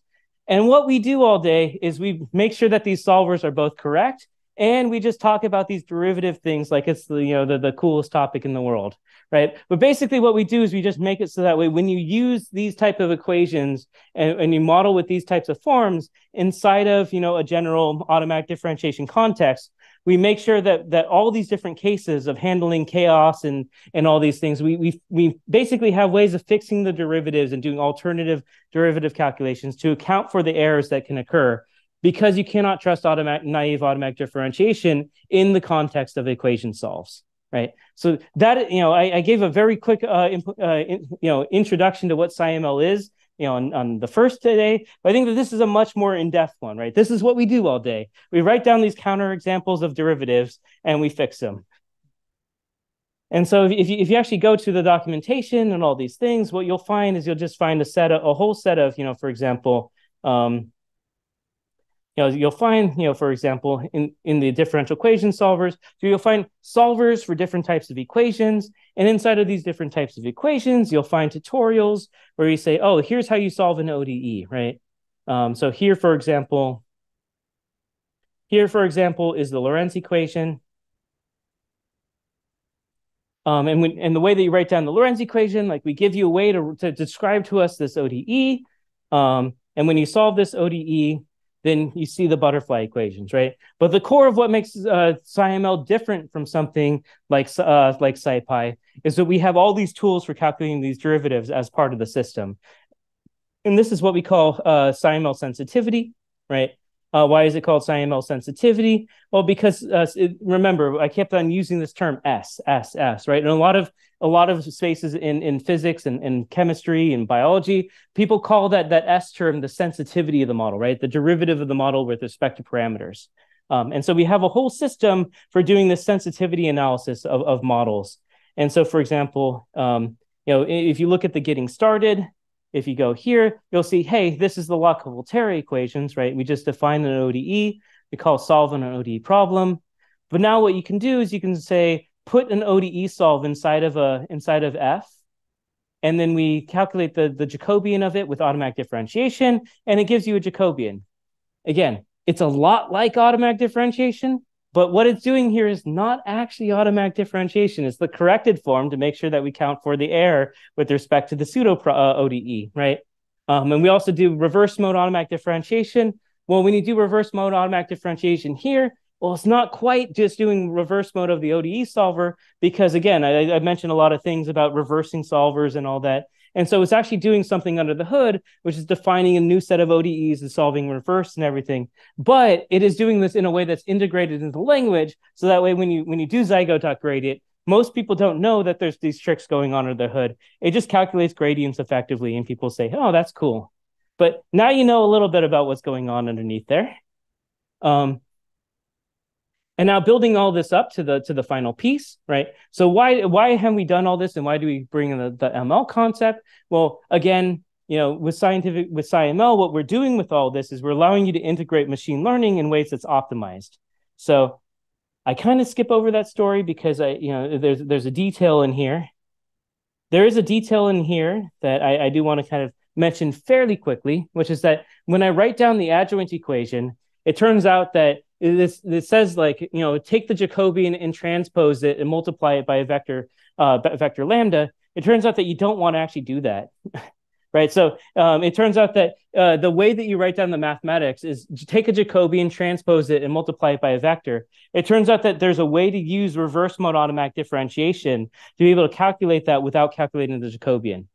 Again, that's too big of a topic to cover within just this this lecture. Uh, you can go to the SIM the SciML book or the 18337 course, which goes all into how reverse mode AD works. But in, in, in the end, there's all these little tricks inside of you know the way that you write down the math is not the, actually the way that you compute it, and all this is kind of baked under the hood. And this really matters for performance when um when when you're doing uh when you're doing when you're integrating neural networks. So if some people ask, um, you know, what are the things that that DifferentialEquations.jl is doing in Julia that something like uh, sundials in the C code is not necessarily doing? Those kinds of tricks are are exactly where you see a lot of this performance difference. Um, so okay, so now let me go to this example that I described at the very beginning. So this is the discovering relativistic corrections to uh, binary black hole dynamics, right? So at the very beginning, I mentioned that there was this that there was this example here, right? Of oh, we we just stick Newton's equations in there, and uh, and we we learn what the relativistic corrections are, and, and we we find out what the rest of the dynamics are, right? So that that's this example, and let me actually kind of show you then what the code looks like. So the code um, run, uh, so first of all, we pull in a bunch of these libraries of, of, of the SciML tools and some external pieces, right? Um, and then you know there's some setup of, of getting the data but what you know i'm going to skip over the, the setup piece effectively we defined an ode called this relativistic o- orbit model which is this you know which is exactly these equations here so it's uh, newton's equations plus some neural networks defined in there and I say, okay, we we solve the, when we solve the ODE with our current parameters, our parameters being the weights of the neural network, we get this waveform data. Cool. And the way that we then do this discovery process, well, uh, we uh, we we basically we say, okay, let's let's extend this. Uh, let's extend this. Uh, well, let's define a neural network, and we extend the model with the with the with the neural network. We we stick the model into this uh, this form, right? So th- th- again, this is just saying, let's define the neural network form that's going to be the piece right here. It um, and then uh, and then what we do is we build this loss function, right? Remember, what is this loss function? Well, this loss function is solve the ODE and then check the difference between the ODE and the data. Why do we do it like this? Well, let's go back to that piece of the lecture. Remember when we when we were here, we said, oh, you know, you can't just do you can't just train the neural network outside the simulator and stick it in. You have to put the simulator as part of that loss function. You get much better results, right? So that's this piece right here. This our loss function is, you know, solve the ODE is actually inside of the loss function. We turn it into array, and then we take the L2 difference against our data. So when we start, we have a loss against our data we stick it into uh, in, into a solve loop, and I could talk to you a bit more about um, what what about some of these pieces. But I want to highlight this one, this line right here. So what is this line doing, right? So we have this form that is u prime equals f of u, which is the known the known dynamics, right? Plus neural network of you, which is unknown, right? So what this line what this line is saying is take the neural network parameters that we got randomly from the from the machine learning library, multiply them by zero, and then add float uh, one e minus four times uh, times uh, a standard normal random number. Why am I doing that? Well, th- this piece right here is just to make it so that way whatever whatever is coming out of this broadcast is the right array type that has the right uh, has the right size and all that, right? But now, but I'm basically replacing all of my neural network parameters with very small with very small random parameters. Why are they very small? Well, because I know that in this context, that my neural network starts as an unknown. And so what I want is my I want my parameters of the neural network to be almost zero. So that way when I start, I start the training process from Newtonian mechanics and I and I push it out towards uh, I push it out towards uh, uh, relativistic dynamics, right? Why do I do that? Well, because a random dynamical system that we write down, like just some random neural network is not necessarily a stable system, right? It's just some ODE. Not all ODEs are stable, but we know that the Newtonian mechanics is stable. So it's a good starting point for for for optimization. You don't make everything zero because then you have some singularities in the Hessian. That's details, details. But you make them very small. And then you do this optimization process. And what you learn is that it goes from a dynamics of thinking that the dynamics is like an ellipsoid to this kind that that's moving and if you actually plot it in, in a different space, so that's the waveform fitting, I actually think that this one is is the most clear one, right? If you think about like the orbits of uh, orbits of uh, of Mercury, right? You know, it changes from being the orbit that is uh, that is the the ellipsoid to the Lissajous pattern that you would expect from a quantum uh, or not uh, uh from a relativistic uh, two body problem, right? And so this is a nice example you can get up and running on your own. I meant to do that during the break, but I forgot to, so I don't have it running right now. But I mean, you, you, it takes you know it takes a little bit to install the packages, and you can copy paste and run this on on your own. But I think that that that's kind of pulling that all together. That you know how we do all of this is we put solvers in optimization loops. We calculate uh, uh, derivatives of them, and these derivatives are respect to either model parameters or neural network weights. And they, and you could do this with ODEs, with SDEs, and all these different things. Um, but under the hood, there's that's where all the fun is happening. So um, yeah, I think uh, how much time do we have? Because I could go into the the part two, but uh,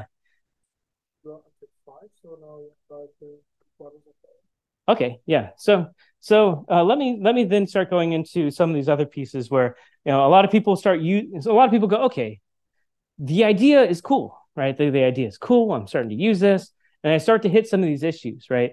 Um, one of the issues that you might run into is oh, I start my simulation, I start my process, and it's unstable. So if you start trying to use these very complex models as part of what you're fitting equations to and fitting parameters to, what do you do in order to improve the process if it's not working the easy way, right? What, what, are, the, what are the things that you should be doing? Um, so the SciML libraries has have a lot of different tools uh, for this, but let me first start by saying, you know, here, here's an animation of what it looks like by default. So here, um, I just say, th this is of the case where we have, uh, this is of the case where we have u prime equals a neural network with parameters theta of u, and it's just learning the entire system from scratch, right? Um, what does the loss function look like? Well, the loss function is solve the ODE with your current parameters, take the difference against the data points, and then you know the take the derivative of that, change your parameters, and do it again, do it again, do it again. And so this is what's this is what's known as single shooting. And I would, I would venture to guess that that um, you know, and this is what I kind of described mathematically. I would venture to guess that 99% of the people using these libraries write down this single shooting process where you say, I, you know, I want to fit this curve against this data. You know, this curve is defined by f of p, and I'm going to t- then do optimize optimize f of p. You know, so that way I find the parameters p, so that way I fit the data. Right. This is a process called single shooting. It's done all the time. And it turns out that it's really not a good idea when you start to have these more complex functions. So, what do I mean by that? So, single shooting is not numerically robust and what and there's many reasons for that so so for example uh, what's one what's one reason for that let me just kind of start to, to to show the piece here so one reason why you might want not want to do that especially if you have like say a simulation process is that the simulation process can be fairly you know whether you can actually calculate the the the simulation can be itself dependent on parameters what do I mean by that? Well, let, us let's, let's take the simplest case in, in ODE world. You have u prime u prime equals alpha u, right? This is just an exponential, right? And so let's just say you said, okay, you know, I want to solve this from time equals uh, times zero to to one hundred, right? Well, if you if you start with your guess of being alpha one alpha equals one, maybe that's actually close to your data points. You know, maybe well maybe that's actually close to your data points, but your solver might go to infinity before it actually gets to the end here because exponentials grow exponentially fast. And so writing down this process, you might you might hit these exponentials. Or what another thing that will happen is if you're sli- slightly below your data points, let's say you're slightly below your data points, your gradient says, oh, increase alpha a little bit. Alpha goes to alpha equals 1.5. And suddenly you get that your loss is equal to infinity, and then your optimizer stops, right? So the, the issue with a lot of simulation processes is that, you know, if you have infinites that can happen in certain parts of your parameter space, your optimization process can just stop. And there's no way to calculate the derivative when you have this infinity. And, yeah. So so so what do you what do you do in these cases? Well, there's a lot of different processes that that you can do. So uh so what what are some things you can do here that are in these libraries? So one of the things that you can do is what's called multiple shooting. So let's say we wanted to fit this data, right? So we have these data points, which is, you know, these big squares here. Right. And so what we can do is we can say, well, let's let's have some pseudo initial conditions. And from these pseudo initial conditions, let's solve the ODE.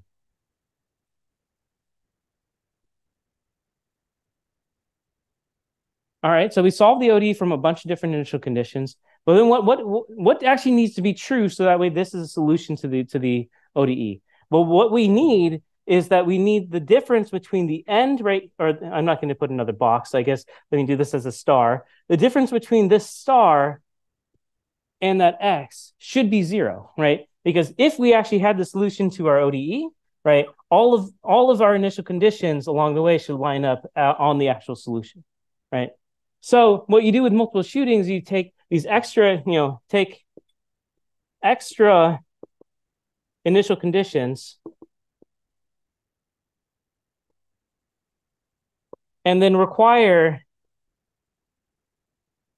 you know, solve the, the ith solution at the endpoint minus um, the ith solution or the ith plus one solution at its initial condition is equal to zero, right? So you can either require that by making that be extra terms in loss function, um, or you can do this by doing an, uh, an, uh, an optimization a process that is an uh, that is uh, equality constrained. Either way, you can impose this property as part of the loss function. And now, what are you actually optimizing for? Optimize for, well, you want to optimize for your parameters. And what else do you optimize for? The pseudo initial conditions, right? What you need to do is you need to keep on, you need to move around these initial conditions until you find them so that way they all line up. So you find what are the correct initial conditions at future points in time and what are the parameters, right? And so when I talk about like, oh, you know, you just fit these simulators, you fit these simulators. Well, what's actually going on is that when it's calculating derivatives, it's modifying your simulator to calculate the derivatives. And oh, when if you actually want to be doing this fitting well, you also want to modify your simulation to not actually be doing the real process, but some like pseudo process for small steps in order to improve the, the simulation as well. In fact, uh, there, there's another augmentation that you can do here where um, this this is called a, a collocation type method where you say, well, let's say I don't don't want to uh, let's say I don't want to differentiate the simulator at all, or let's say I want to find a good initial starting point for this this process. What you can do is you can say, well, let's say I have these these as my my data points, right? I can put a line through them, and I can calculate an estimated derivative at each point. So this is like u tilde prime, u tilde prime, right? And so if u prime is supposed to equal to f, then then you, what you can do is you can say that like you, this u tilde prime of i minus f of u tilde, the data point i, this should be equal to zero, you know, approximately. And so let's sum them up. Let's sum them up over i. And this is our loss function. Right. So in, instead of actually using the ODE solver to calculate solutions, you can uh, you, you can take you know you can approximate derivatives at your data points by putting a line through them and then this should be true at every single data point where if this derivative is sufficiently correct then then we should be able to fit this. Now what's the issue with this kind of approach? Well this is similar to the issue that we would have with that climate model example right? That it won't necessarily converge all the way um, because the derivative estimations that you're going to get here from say a cubic spline are not going to be so correct but this is a very good way to start off your your your process. So you might want to start with this process to be able to get your initial uh, initial parameter estimates, and then complete it by doing you know a multiple shooting or single shooting approach, right? So ba- basically, what, what I'm saying here is that you know you don't you know just because you can stick an, uh, an ODE solver inside with parameters and then just say oh calculate the derivative and optimize it doesn't mean you should. You should be doing other things as well, which is sad because we we hope we can automate everything for you, but it turns out there's more things to, to do. In fact, um, as as a as a very interesting kind of extra piece here, I like to show people this this prediction error method, which is used a lot inside of inside of control theory, but I don't really see it as much. So what what is going on here? So in this case, uh, in this case, what we have is we have a uh, a pendulum equation, right? Uh, pendulums are actually extremely hard. I love talking about how hard pendulums are. If you want to, pendulums are one of the most difficult equations to solve. And if you if you if you want to talk about that in more detail, I'd be happy to. Um, but okay, so so here's a pendulum equation written. Uh, you know, just uh, the the derivative uh, derivative of position is equal to velocity. Derivative of velocity is equal to pendulum equation. Right. Every physicist here knows the pendulum. Now, now what we're going to do is we're going to say, well, we have we have data points. So we we have we have this. Uh, let me let me erase here again so I can show.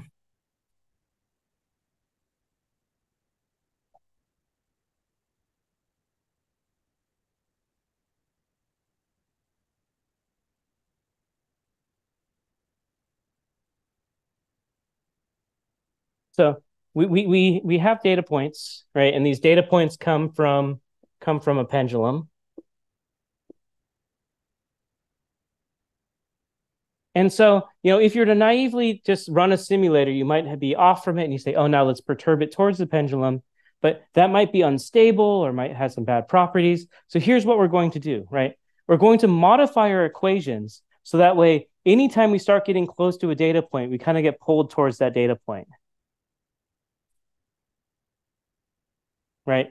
And so it, it, uh, you can see the modification right here, right? So instead of instead of using just the instead of just using you know the derivative of position as velocity, the derivative of position is velocity plus k times e, where e is this difference. Uh, e is this kind of difference from from from a data point. Where we what we're going to do is we're going to take a again an interpolation through these data points, and we're going to use that difference from from where we would expect to be from the data. We're going to to add it to here, right? You can actually think about this as like a Kalman filter um, in a in a in somewhat in kind of a continuous sense, right? And now it has this interesting property that if you are actually on the data, then the perturbation is zero. And so it has not actually changed your, it has actually not changed the, the parameters that optimize your equation. But what it does do is it makes it so that way you're not accidentally go to go to infinity because you've now you've now added an artificial force that's pulling you you back towards the, the equation. Uh, well, there's ways to be able to do this where you're interpret. So, uh, so okay, this is with a B spline. You can do a B spline regression to take into account noise. Yeah, there's a lot of things that you can do here um, to be able to make it noise robust. But yeah, that that becomes a whole a whole thing. So the question was, uh, this assumes no noise. Yeah, the way that I wrote this down assumes no noise, but there's extensions you can do to handle all that. Um, but the key here is that if, if you actually look at this, then the optimal the optimal point has not moved, right? the optimal point is still in the same spot. But this is actually a very good way to get rid of a lot of the pseudo uh, pseudo minima. So what I'm looking at here is this is my loss function, right? So this is the value of the loss function, and this is the uh, and this is the pendulum length, the L inside of here, right? So if you're trying to do this optimization and find the right parameter for your for your model, you know, and you just say, oh, you know, just do the L2 difference, you solve the model to do the difference. If you just do that process, what you'll see is that this is the loss landscape you get in blue, which is a very difficult optimization problem to find out the right the right pendulum length, right? But if you just do this process with this modified simulation, this modified simulation has a different loss function, which actually has one global minima at right at the same point as before. So again, you know so sim- simulators are really cool. We write a lot of cool simulation things but when you want to calculate derivatives you want to change your simulation. And when you want to fit things you want to change your simulation. So like your simulation is you should almost think about it as like this, your, your normal simulator is what the physics actually does but when you're doing inverse problems and other things like that you don't necessarily want to do the same physics um, there's other tricks to, to do as well. So, uh, so what, what am I showing here? Well, what I'm showing here is this case of we're trying to find the parameters of this of this uh, neural network ODE that solves the equation. Um, and when and, and you know, so we're trying to find the parameters of the orange that make it match the the blue. And what happens here is it gets stuck at a local minima. This local minima is the orange. Why is this a local minima? Well, if, if you think about it, actually is kind of easy. Uh, if, you, if you pull down the orange a little bit here to match to match closer to the data, then you're also pulling it away from the blue at the top there. And if you pull it down here, well, okay, you're doing better here, but you're up here. So if you think about it, that's actually a really nice lo- local minima that it found, right? It's right in the middle. Where if you move it downwards, you're you move it downwards, or you move it upwards, you're going to increase your your your your loss. So how do you get how do you get beyond this issue? Well, you don't necessarily want to fit by just using your normal simulation process. So here, instead of fitting from time zero to five, we do a fit from time zero to 125 or 1.25. Ah, we fit that first. And we use that as an initial condition to fit from one to three. And we use that as an initial condition to fit from one to five.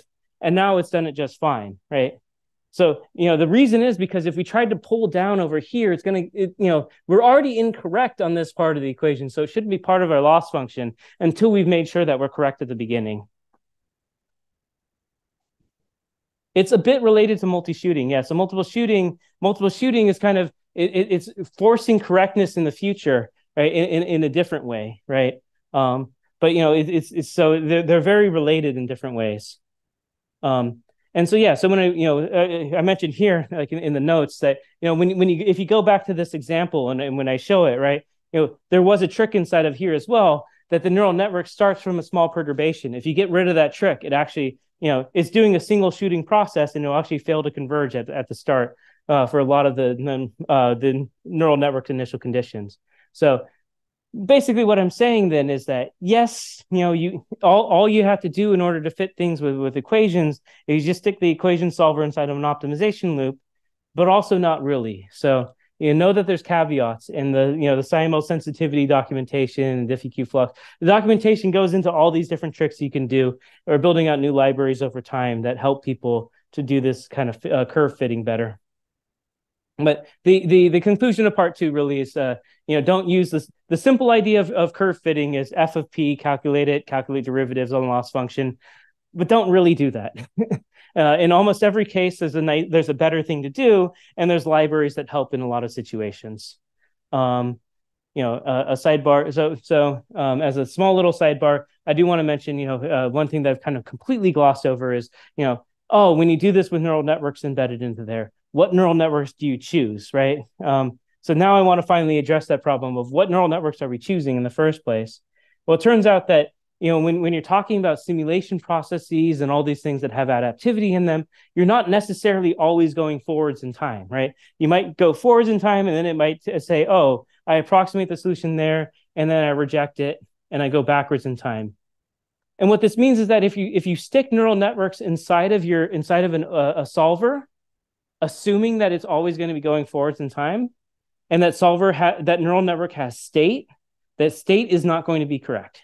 So what kind of neural networks have, have state? RNNs, GRUs, you know, any. I, I, think that Lux makes this very clear because uh, Lux has has actually a state value, and if that state value is not an empty name tuple, then the neural network has state. And for any neural network that has state, you cannot use them in solvers with adaptivity because you cannot guarantee that your step is always going forwards. You, you would need to reverse your state if, if that was the case.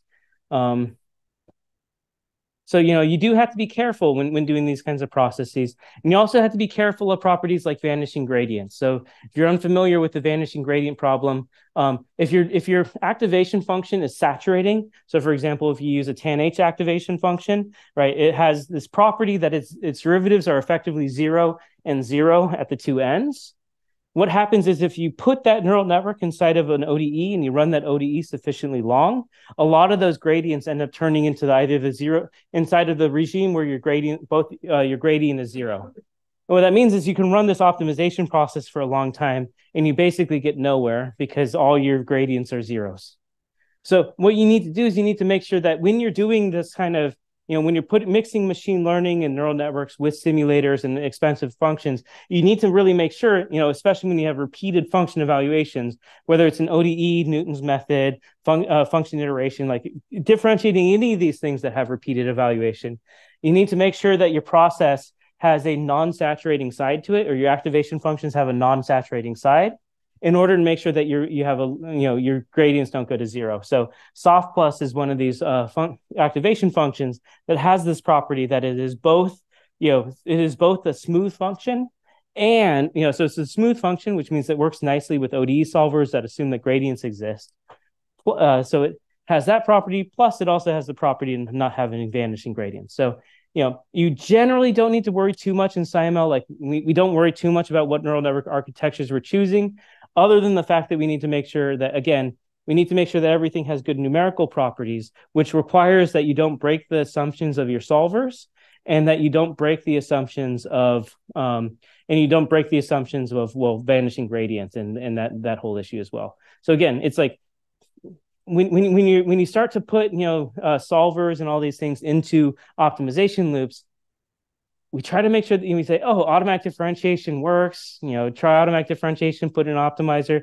But in practice, you need to actually worry about numerical analysis issues because you know the, the, the things that you're generating for gradients is a pseudo process that has its numerical properties. And you know the things that you're putting into your solver are making your solver act in different ways by being non-smooth or having vanishing gradients. And you do need to worry about these properties to some extent. Um, hopefully in the future we can make that stuff fully automated but uh, that's that's the stuff to be aware of. I guess uh, i mean the, the, this this part three is a very short story if i have the time for it. Yeah cool i do. Let me uh, make sure i check the chat here. Um oh okay. Just about a blackboard yeah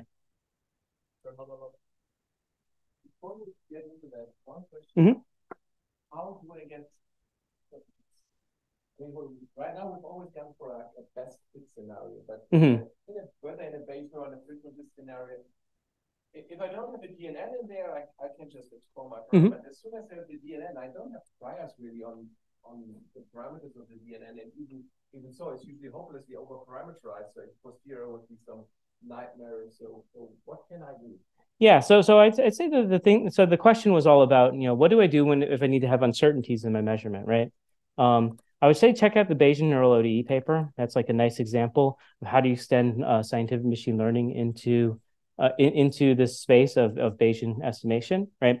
Um, it turns out that you know the things that you really need to make uh, Bayesian estimation work, right, are derivatives, right? If you calculate the derivatives of your code, then you can do variational inference and you can do Hamiltonian Monte Carlo, right?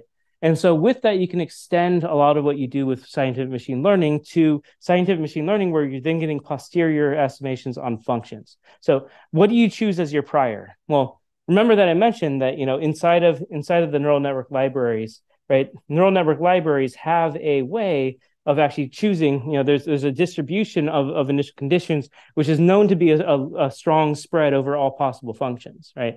Uh, there's a way to actually say that in, in a more a nice way, but there's like a Wishart distribution that's used as as the neural network weight initialization, right? Um, so what you could do is you could say that that's your that's your prior distribution, right? That you know the the, the same distribution that it, that all I mean all the neural network libraries use the same one because there's nice properties to it. You know, you let your your prior distribution for each of your neural network weights be given by this Wishart distribution, and then you and then you do and then you say put this into Turing or some other bayesian estimation prob, uh, uh, you know probabilistic programming environment to get uh, posteriors over the neural network weights right? And now there's two in, some interesting things you can do with that right? So one of it is well every single every single pos, uh, point in your posterior over your neural network weights you can solve the the ode with that neural network and each one is giving you a representation of a missing function right but remember back to the case where you say, oh, what we really want to do is we want to learn some physics, right? So there's a, there's a nice example in here of how to how to connect those two together where um, da, da, da, going down. So what we do in a given case is we say, well, um, let's say we want to fit this uh, Fisher KPP equation, right? So we do this as like a convolution plus a neural network. I mean, it's one of these PDE examples again, where there's a neural network capturing a missing nonlinearity. And what we do in this case is we train the neural network. Uh, well, we, we replace training of the neural network with uh, Monte, Markov chain Monte Carlo to give us a representation of the posterior of the weights of the neural network, right? And once we have a posterior uh, of the weights of the neural network, right, we have predictions of what the of of what the solution would have done that are you know nice and fitting. But once we have that, we actually have representations of what functions could be missing. Right, every sample from our posterior is a is a is a function. Right, and so what we can do is we can take samples of uh, we we, we could take samples from the posterior, and on each sample we get a we get a neural network, and we can run symbolic regression on that neural network. And so we sample from our posterior, you know, a few hundred times, um, and each time we run a different symbolic regression. And every time we run the symbolic regression, it can give us different results. And it turns out that 73% of the time it gives us a quadratic function, and 23%, 27% of the time it gave us a cubic function. And what it was supposed to be learning was that the extra function was, a, was supposed to be quadratic, right? And so it gives you a way to be able to extend this this model discovery where you can start to say, well, you know, there's a lot of terms in our symbolic regression. Like, you know, I think there's an earlier uh, there's an earlier case that showed a symbolic regression earlier in the day, right? You know, there could be a lot of terms in the symbolic regression. And this approach of, of doing a neural network fit to get a posterior over all the functions and then sampling them and rerunning different symbolic regressions is able to tell you what percentage of the time your symbolic regression actually sees these different terms and gives you a nice way to then be able to say, oh, 99% of the time I'm seeing these terms and then all and every you know all these other terms that they only show up randomly. And what we find when, when we do this in practice is that the terms that are showing up most of the time are the terms that we actually use to generate the data in our test cases. So, um, you know, so it's it's it, it, it, does give you some nice ways to extend model discovery to have some form of error bars. Yeah. Explore the posterior space of the neural network. I mean, you test yeah. minima that are almost So HMC would get stuck in, in, one of them and never get out of there. Yes, and it's not an easy Bayesian estimation process. So a lot of the work that's ongoing right now is just improving that and the ADVI. In, in fact, vari- variational inference does not work for this stuff very well at all, and that's a whole story of its own. Um, but yeah, I, I, think you know one, one of the recent things that we put out was a Bayesian uh, chemical reaction neural networks, right? Uh, so this is with one of the students that I have. Uh,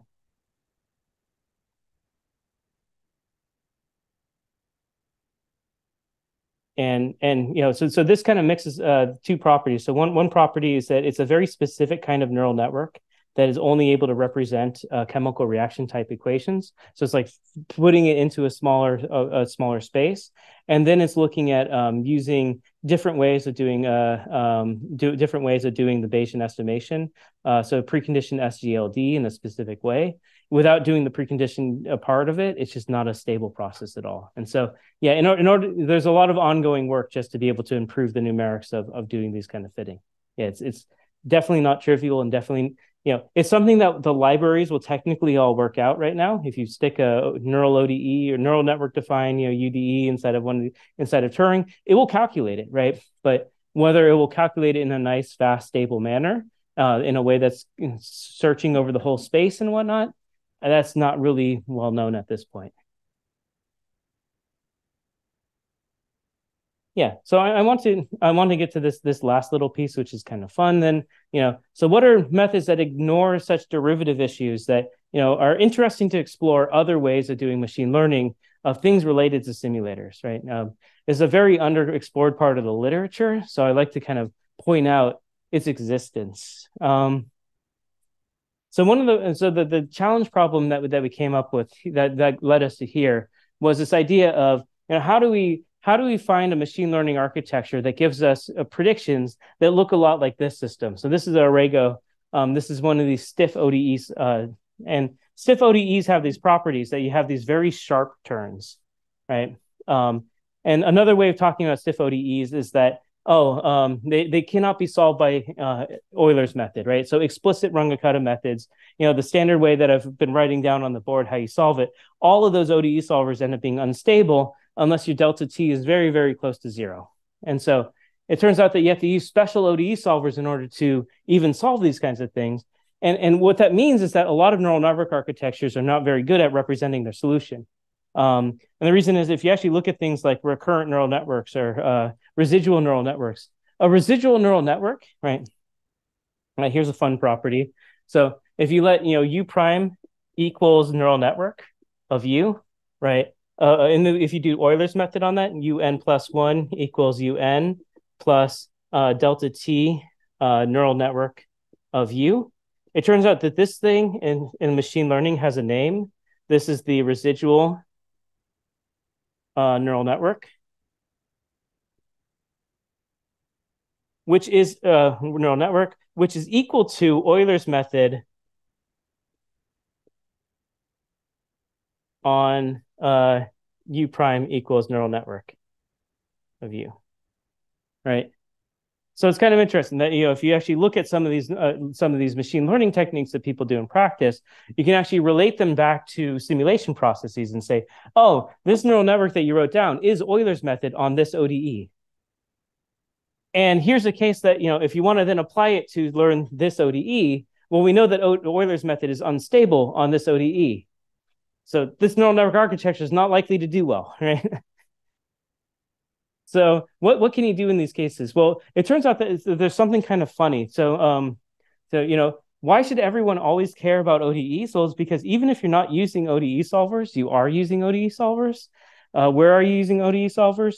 Well, let's say you're doing gradient descent, right? Gradient descent is uh, you know, my parameters n plus one equals parameter some n plus alpha, my learning rate, GG. Um, times uh, uh, times this uh, gradient uh, with respect to my, my function at, at the given parameters, right?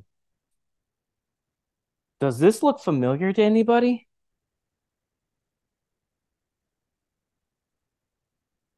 Let learning rate go to zero. And what happens? What is this solving?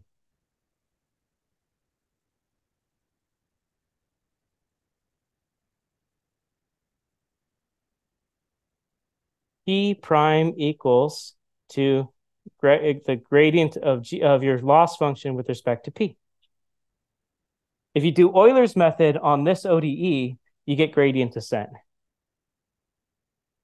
So if you're doing optimization, you're you're just solving ODEs. It just looks different, right? You don't really the difference in optimization cases is you don't necessarily care that you're solving the ODE accurately. As long as your value goes down, you're okay. And so you end up taking a lot of, of skips in order to just say, okay, I don't really need to care about the accuracy of this ODE that I'm solving. But the the the gradient descent is just Euler's method on the on the on the ODE defined by the gradient flow, and knowing whether you're going to go to the minima is, is all done by doing analyses on this continuous for, uh, formulation, right? So why why, why does this matter? Well, um, you know, I said that there's some ODEs that are very difficult to solve, and what someone has had been looking at inside of the the uh, machine learning literature and the SciML literature is, you know, to summarize it, essentially, if you have stiffness inside of uh, if you have stiffness or these difficult properties inside of your fun- inside the function that you're trying to learn, right? So if you have if you have difficult if your function that you're trying to learn is difficult, what that corresponds to is that this uh, what you can show is that this you know that you end up having that this this ODE that you have for the gradient flow is actually stiff, which makes Euler's method and thus gradient descent unstable, right? How do you fix that instability? Well, you have to send delta t goes to zero, but in gradient descent land, you call that the learning rate, right? So it's you know, so what you basically show then is that inside of these, if you're trying to fit models that have these kind of stiffness properties, then you need to use either very small learning rates or you need to use different types of optimizers that are implicit. It turns out that Newton's method is implicit Euler on this thing, and you could go on and on. But um, the key property here is that you know the same numerical properties that make ODE solving difficult actually show up in the optimization space. So can you start to do things that avoid uh, that avoid all of this altogether right? Well let me let me show you a trick that ends up being really nice.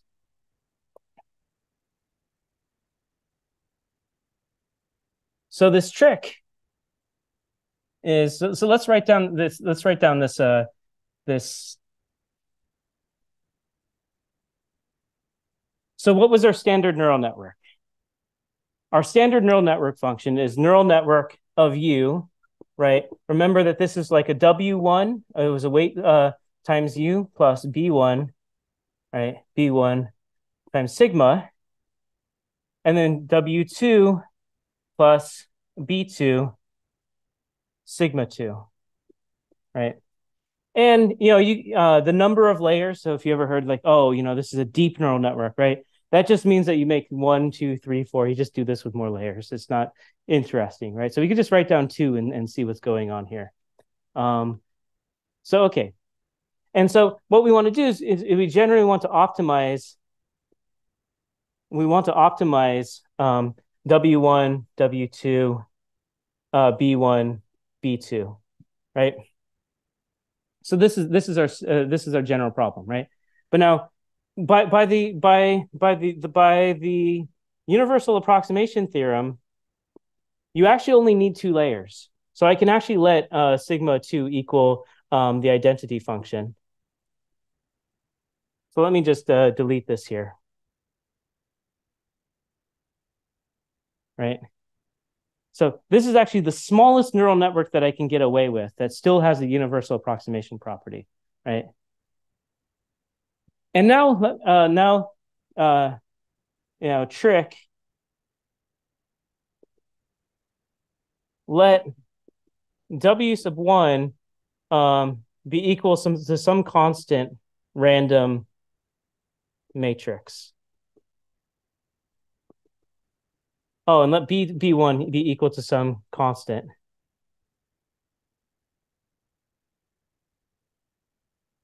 You go, huh? You can do that? Yeah, you can. Actually, this will still satisfy universal approximation theorem in some context, right? But what happens then if this is constant and this is constant? Well, you can take every single one of your data points, and you can take each one of your data points and stick them through this in terms of your nonlinearity. And what, what you end up getting is you get some data set, which is, you know, some u, you know, W2u plus B2 equals you know, y, that what's supposed to come out in your data set. And turns out that you can solve this with a linear regression, right? So you can do a QR factorization or an SVD. And now you could do this actually inside of the, the ODE context as well. So you can say x prime, x prime equals um, sigma uh, w uh, x plus b, um, and then y is equal to w out um, of x. And then you say that th- these two things are, are constant, and let's only fit uh, w out. You can prove that that actually has a universal approximation theorem. It could fit all possible continuous uh, functions, but fitting this W out can be done only by doing a QR factorization or an SVD against your data. So what, what does this actually look like in practice? Well, this right here is actually defining an ODE that's doing its own thing. So you can almost think about it as you know you you you have some process, right? There's some random process here, and if you have a very high dimensional random process, like here's the question: If you have a very high dimensional random process, where like everything is going on. So let's say you have a simulation of the entire world, right? You know, there's inside of the simulation, you have Keanu Reeves, you have, you know, you you, you have uh, you know, Elvis Presley, and you have Elvis Presley and, and Keanu Reeves dating each other, right? Like literally everything is inside of the simulation if you make it a high enough dimensional, right? Can you can you go from this simulation? Can you create a projection that matches the process that you want to hit? Well, I mean, if you have a billion dimensions, you should be able to find some projection that works, right? And that's effectively what's going on here, right? So you have some pseudo process, which if these things are fixed, it's just some random pseudo process, which is, you know, high enough dimensions doing every possible thing. And you, what you're looking for is a linear projection from that pseudo process to your real process. So what is this thing? What is this thing called? This is called a, an echo. This is called an echo state network, and this is the continuous time echo state network. Uh, so this is of a weird branch of offshoot of machine learning called reservoir computing. And it turns out that there are these cases where you know. So here's the case where your ODE. I'm writing it inside of log scale. Like this thing goes up extremely fast. So this is one of these things that you know you require specific solvers to be able to handle the fact that you have derivatives that are different by um, by 10 to the you know 10 to the ninth differences in your values. Um, so special ODE solvers are required to handle this. And so if you try most machine learning methods, right, you know, if you if you look at this machine learning method, this is uh this is your um, LSTM, right? Your standard time series method shoots up to infinity and shoots back down, right? It has no idea what to do in these unstable cases. But then these continuous time echo state networks are able to handle this the, these types of equations quite easily and it, and the fitting process requires no gradient descent at all. It's just a backslash. Um, and so you know there's this there's this whole li- set of libraries called ReservoirComputing.jl that are able to, to learn different equations and here it's actually learning on Lorenz equation it's learning how to predict values that would be on the on the um, on the what's the word the uh, the the butterfly wings, right? So it's learning uh, from from a given set how to predict things that would still be on the butterfly wings, uh, because again, it doesn't run into these gradient issues because it's calculating no gradients. It's just doing a fit of these uh, of what's known as these reservoirs, right? So again, you have this thing known as a reservoir process, um, which is kind of a large system, and you keep that thing constant, and you learn projections from your large system. And it turns out to be a very nice way to learn a lot of a lot of systems and I'll, I'll stop it there because that's a that's a fun one. But yeah, I mean, if you've never checked out reservoir computing, uh, yeah, you check it out. It's a it's it's a different way to do machine learning, which is uh, quite interesting, and we have some really good tools in the Julia ecosystem for doing that. So.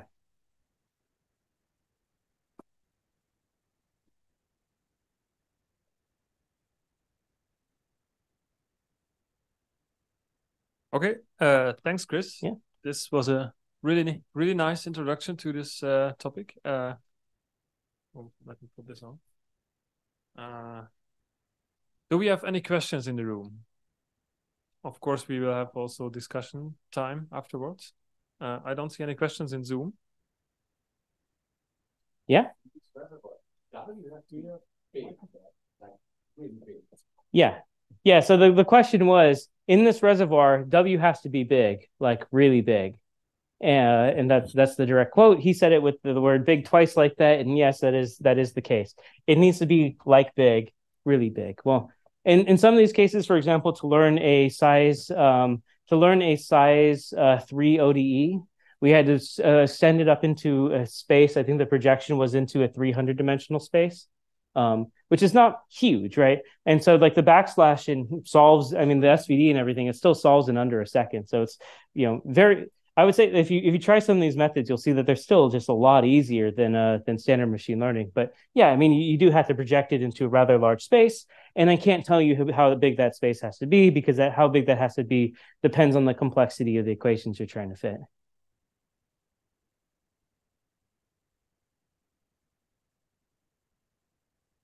Okay, anything else? Otherwise, I would say we stop here today's session. Many thanks for everyone. Many thanks, Chris, again. Uh, it's always good to know what happens behind the scenes.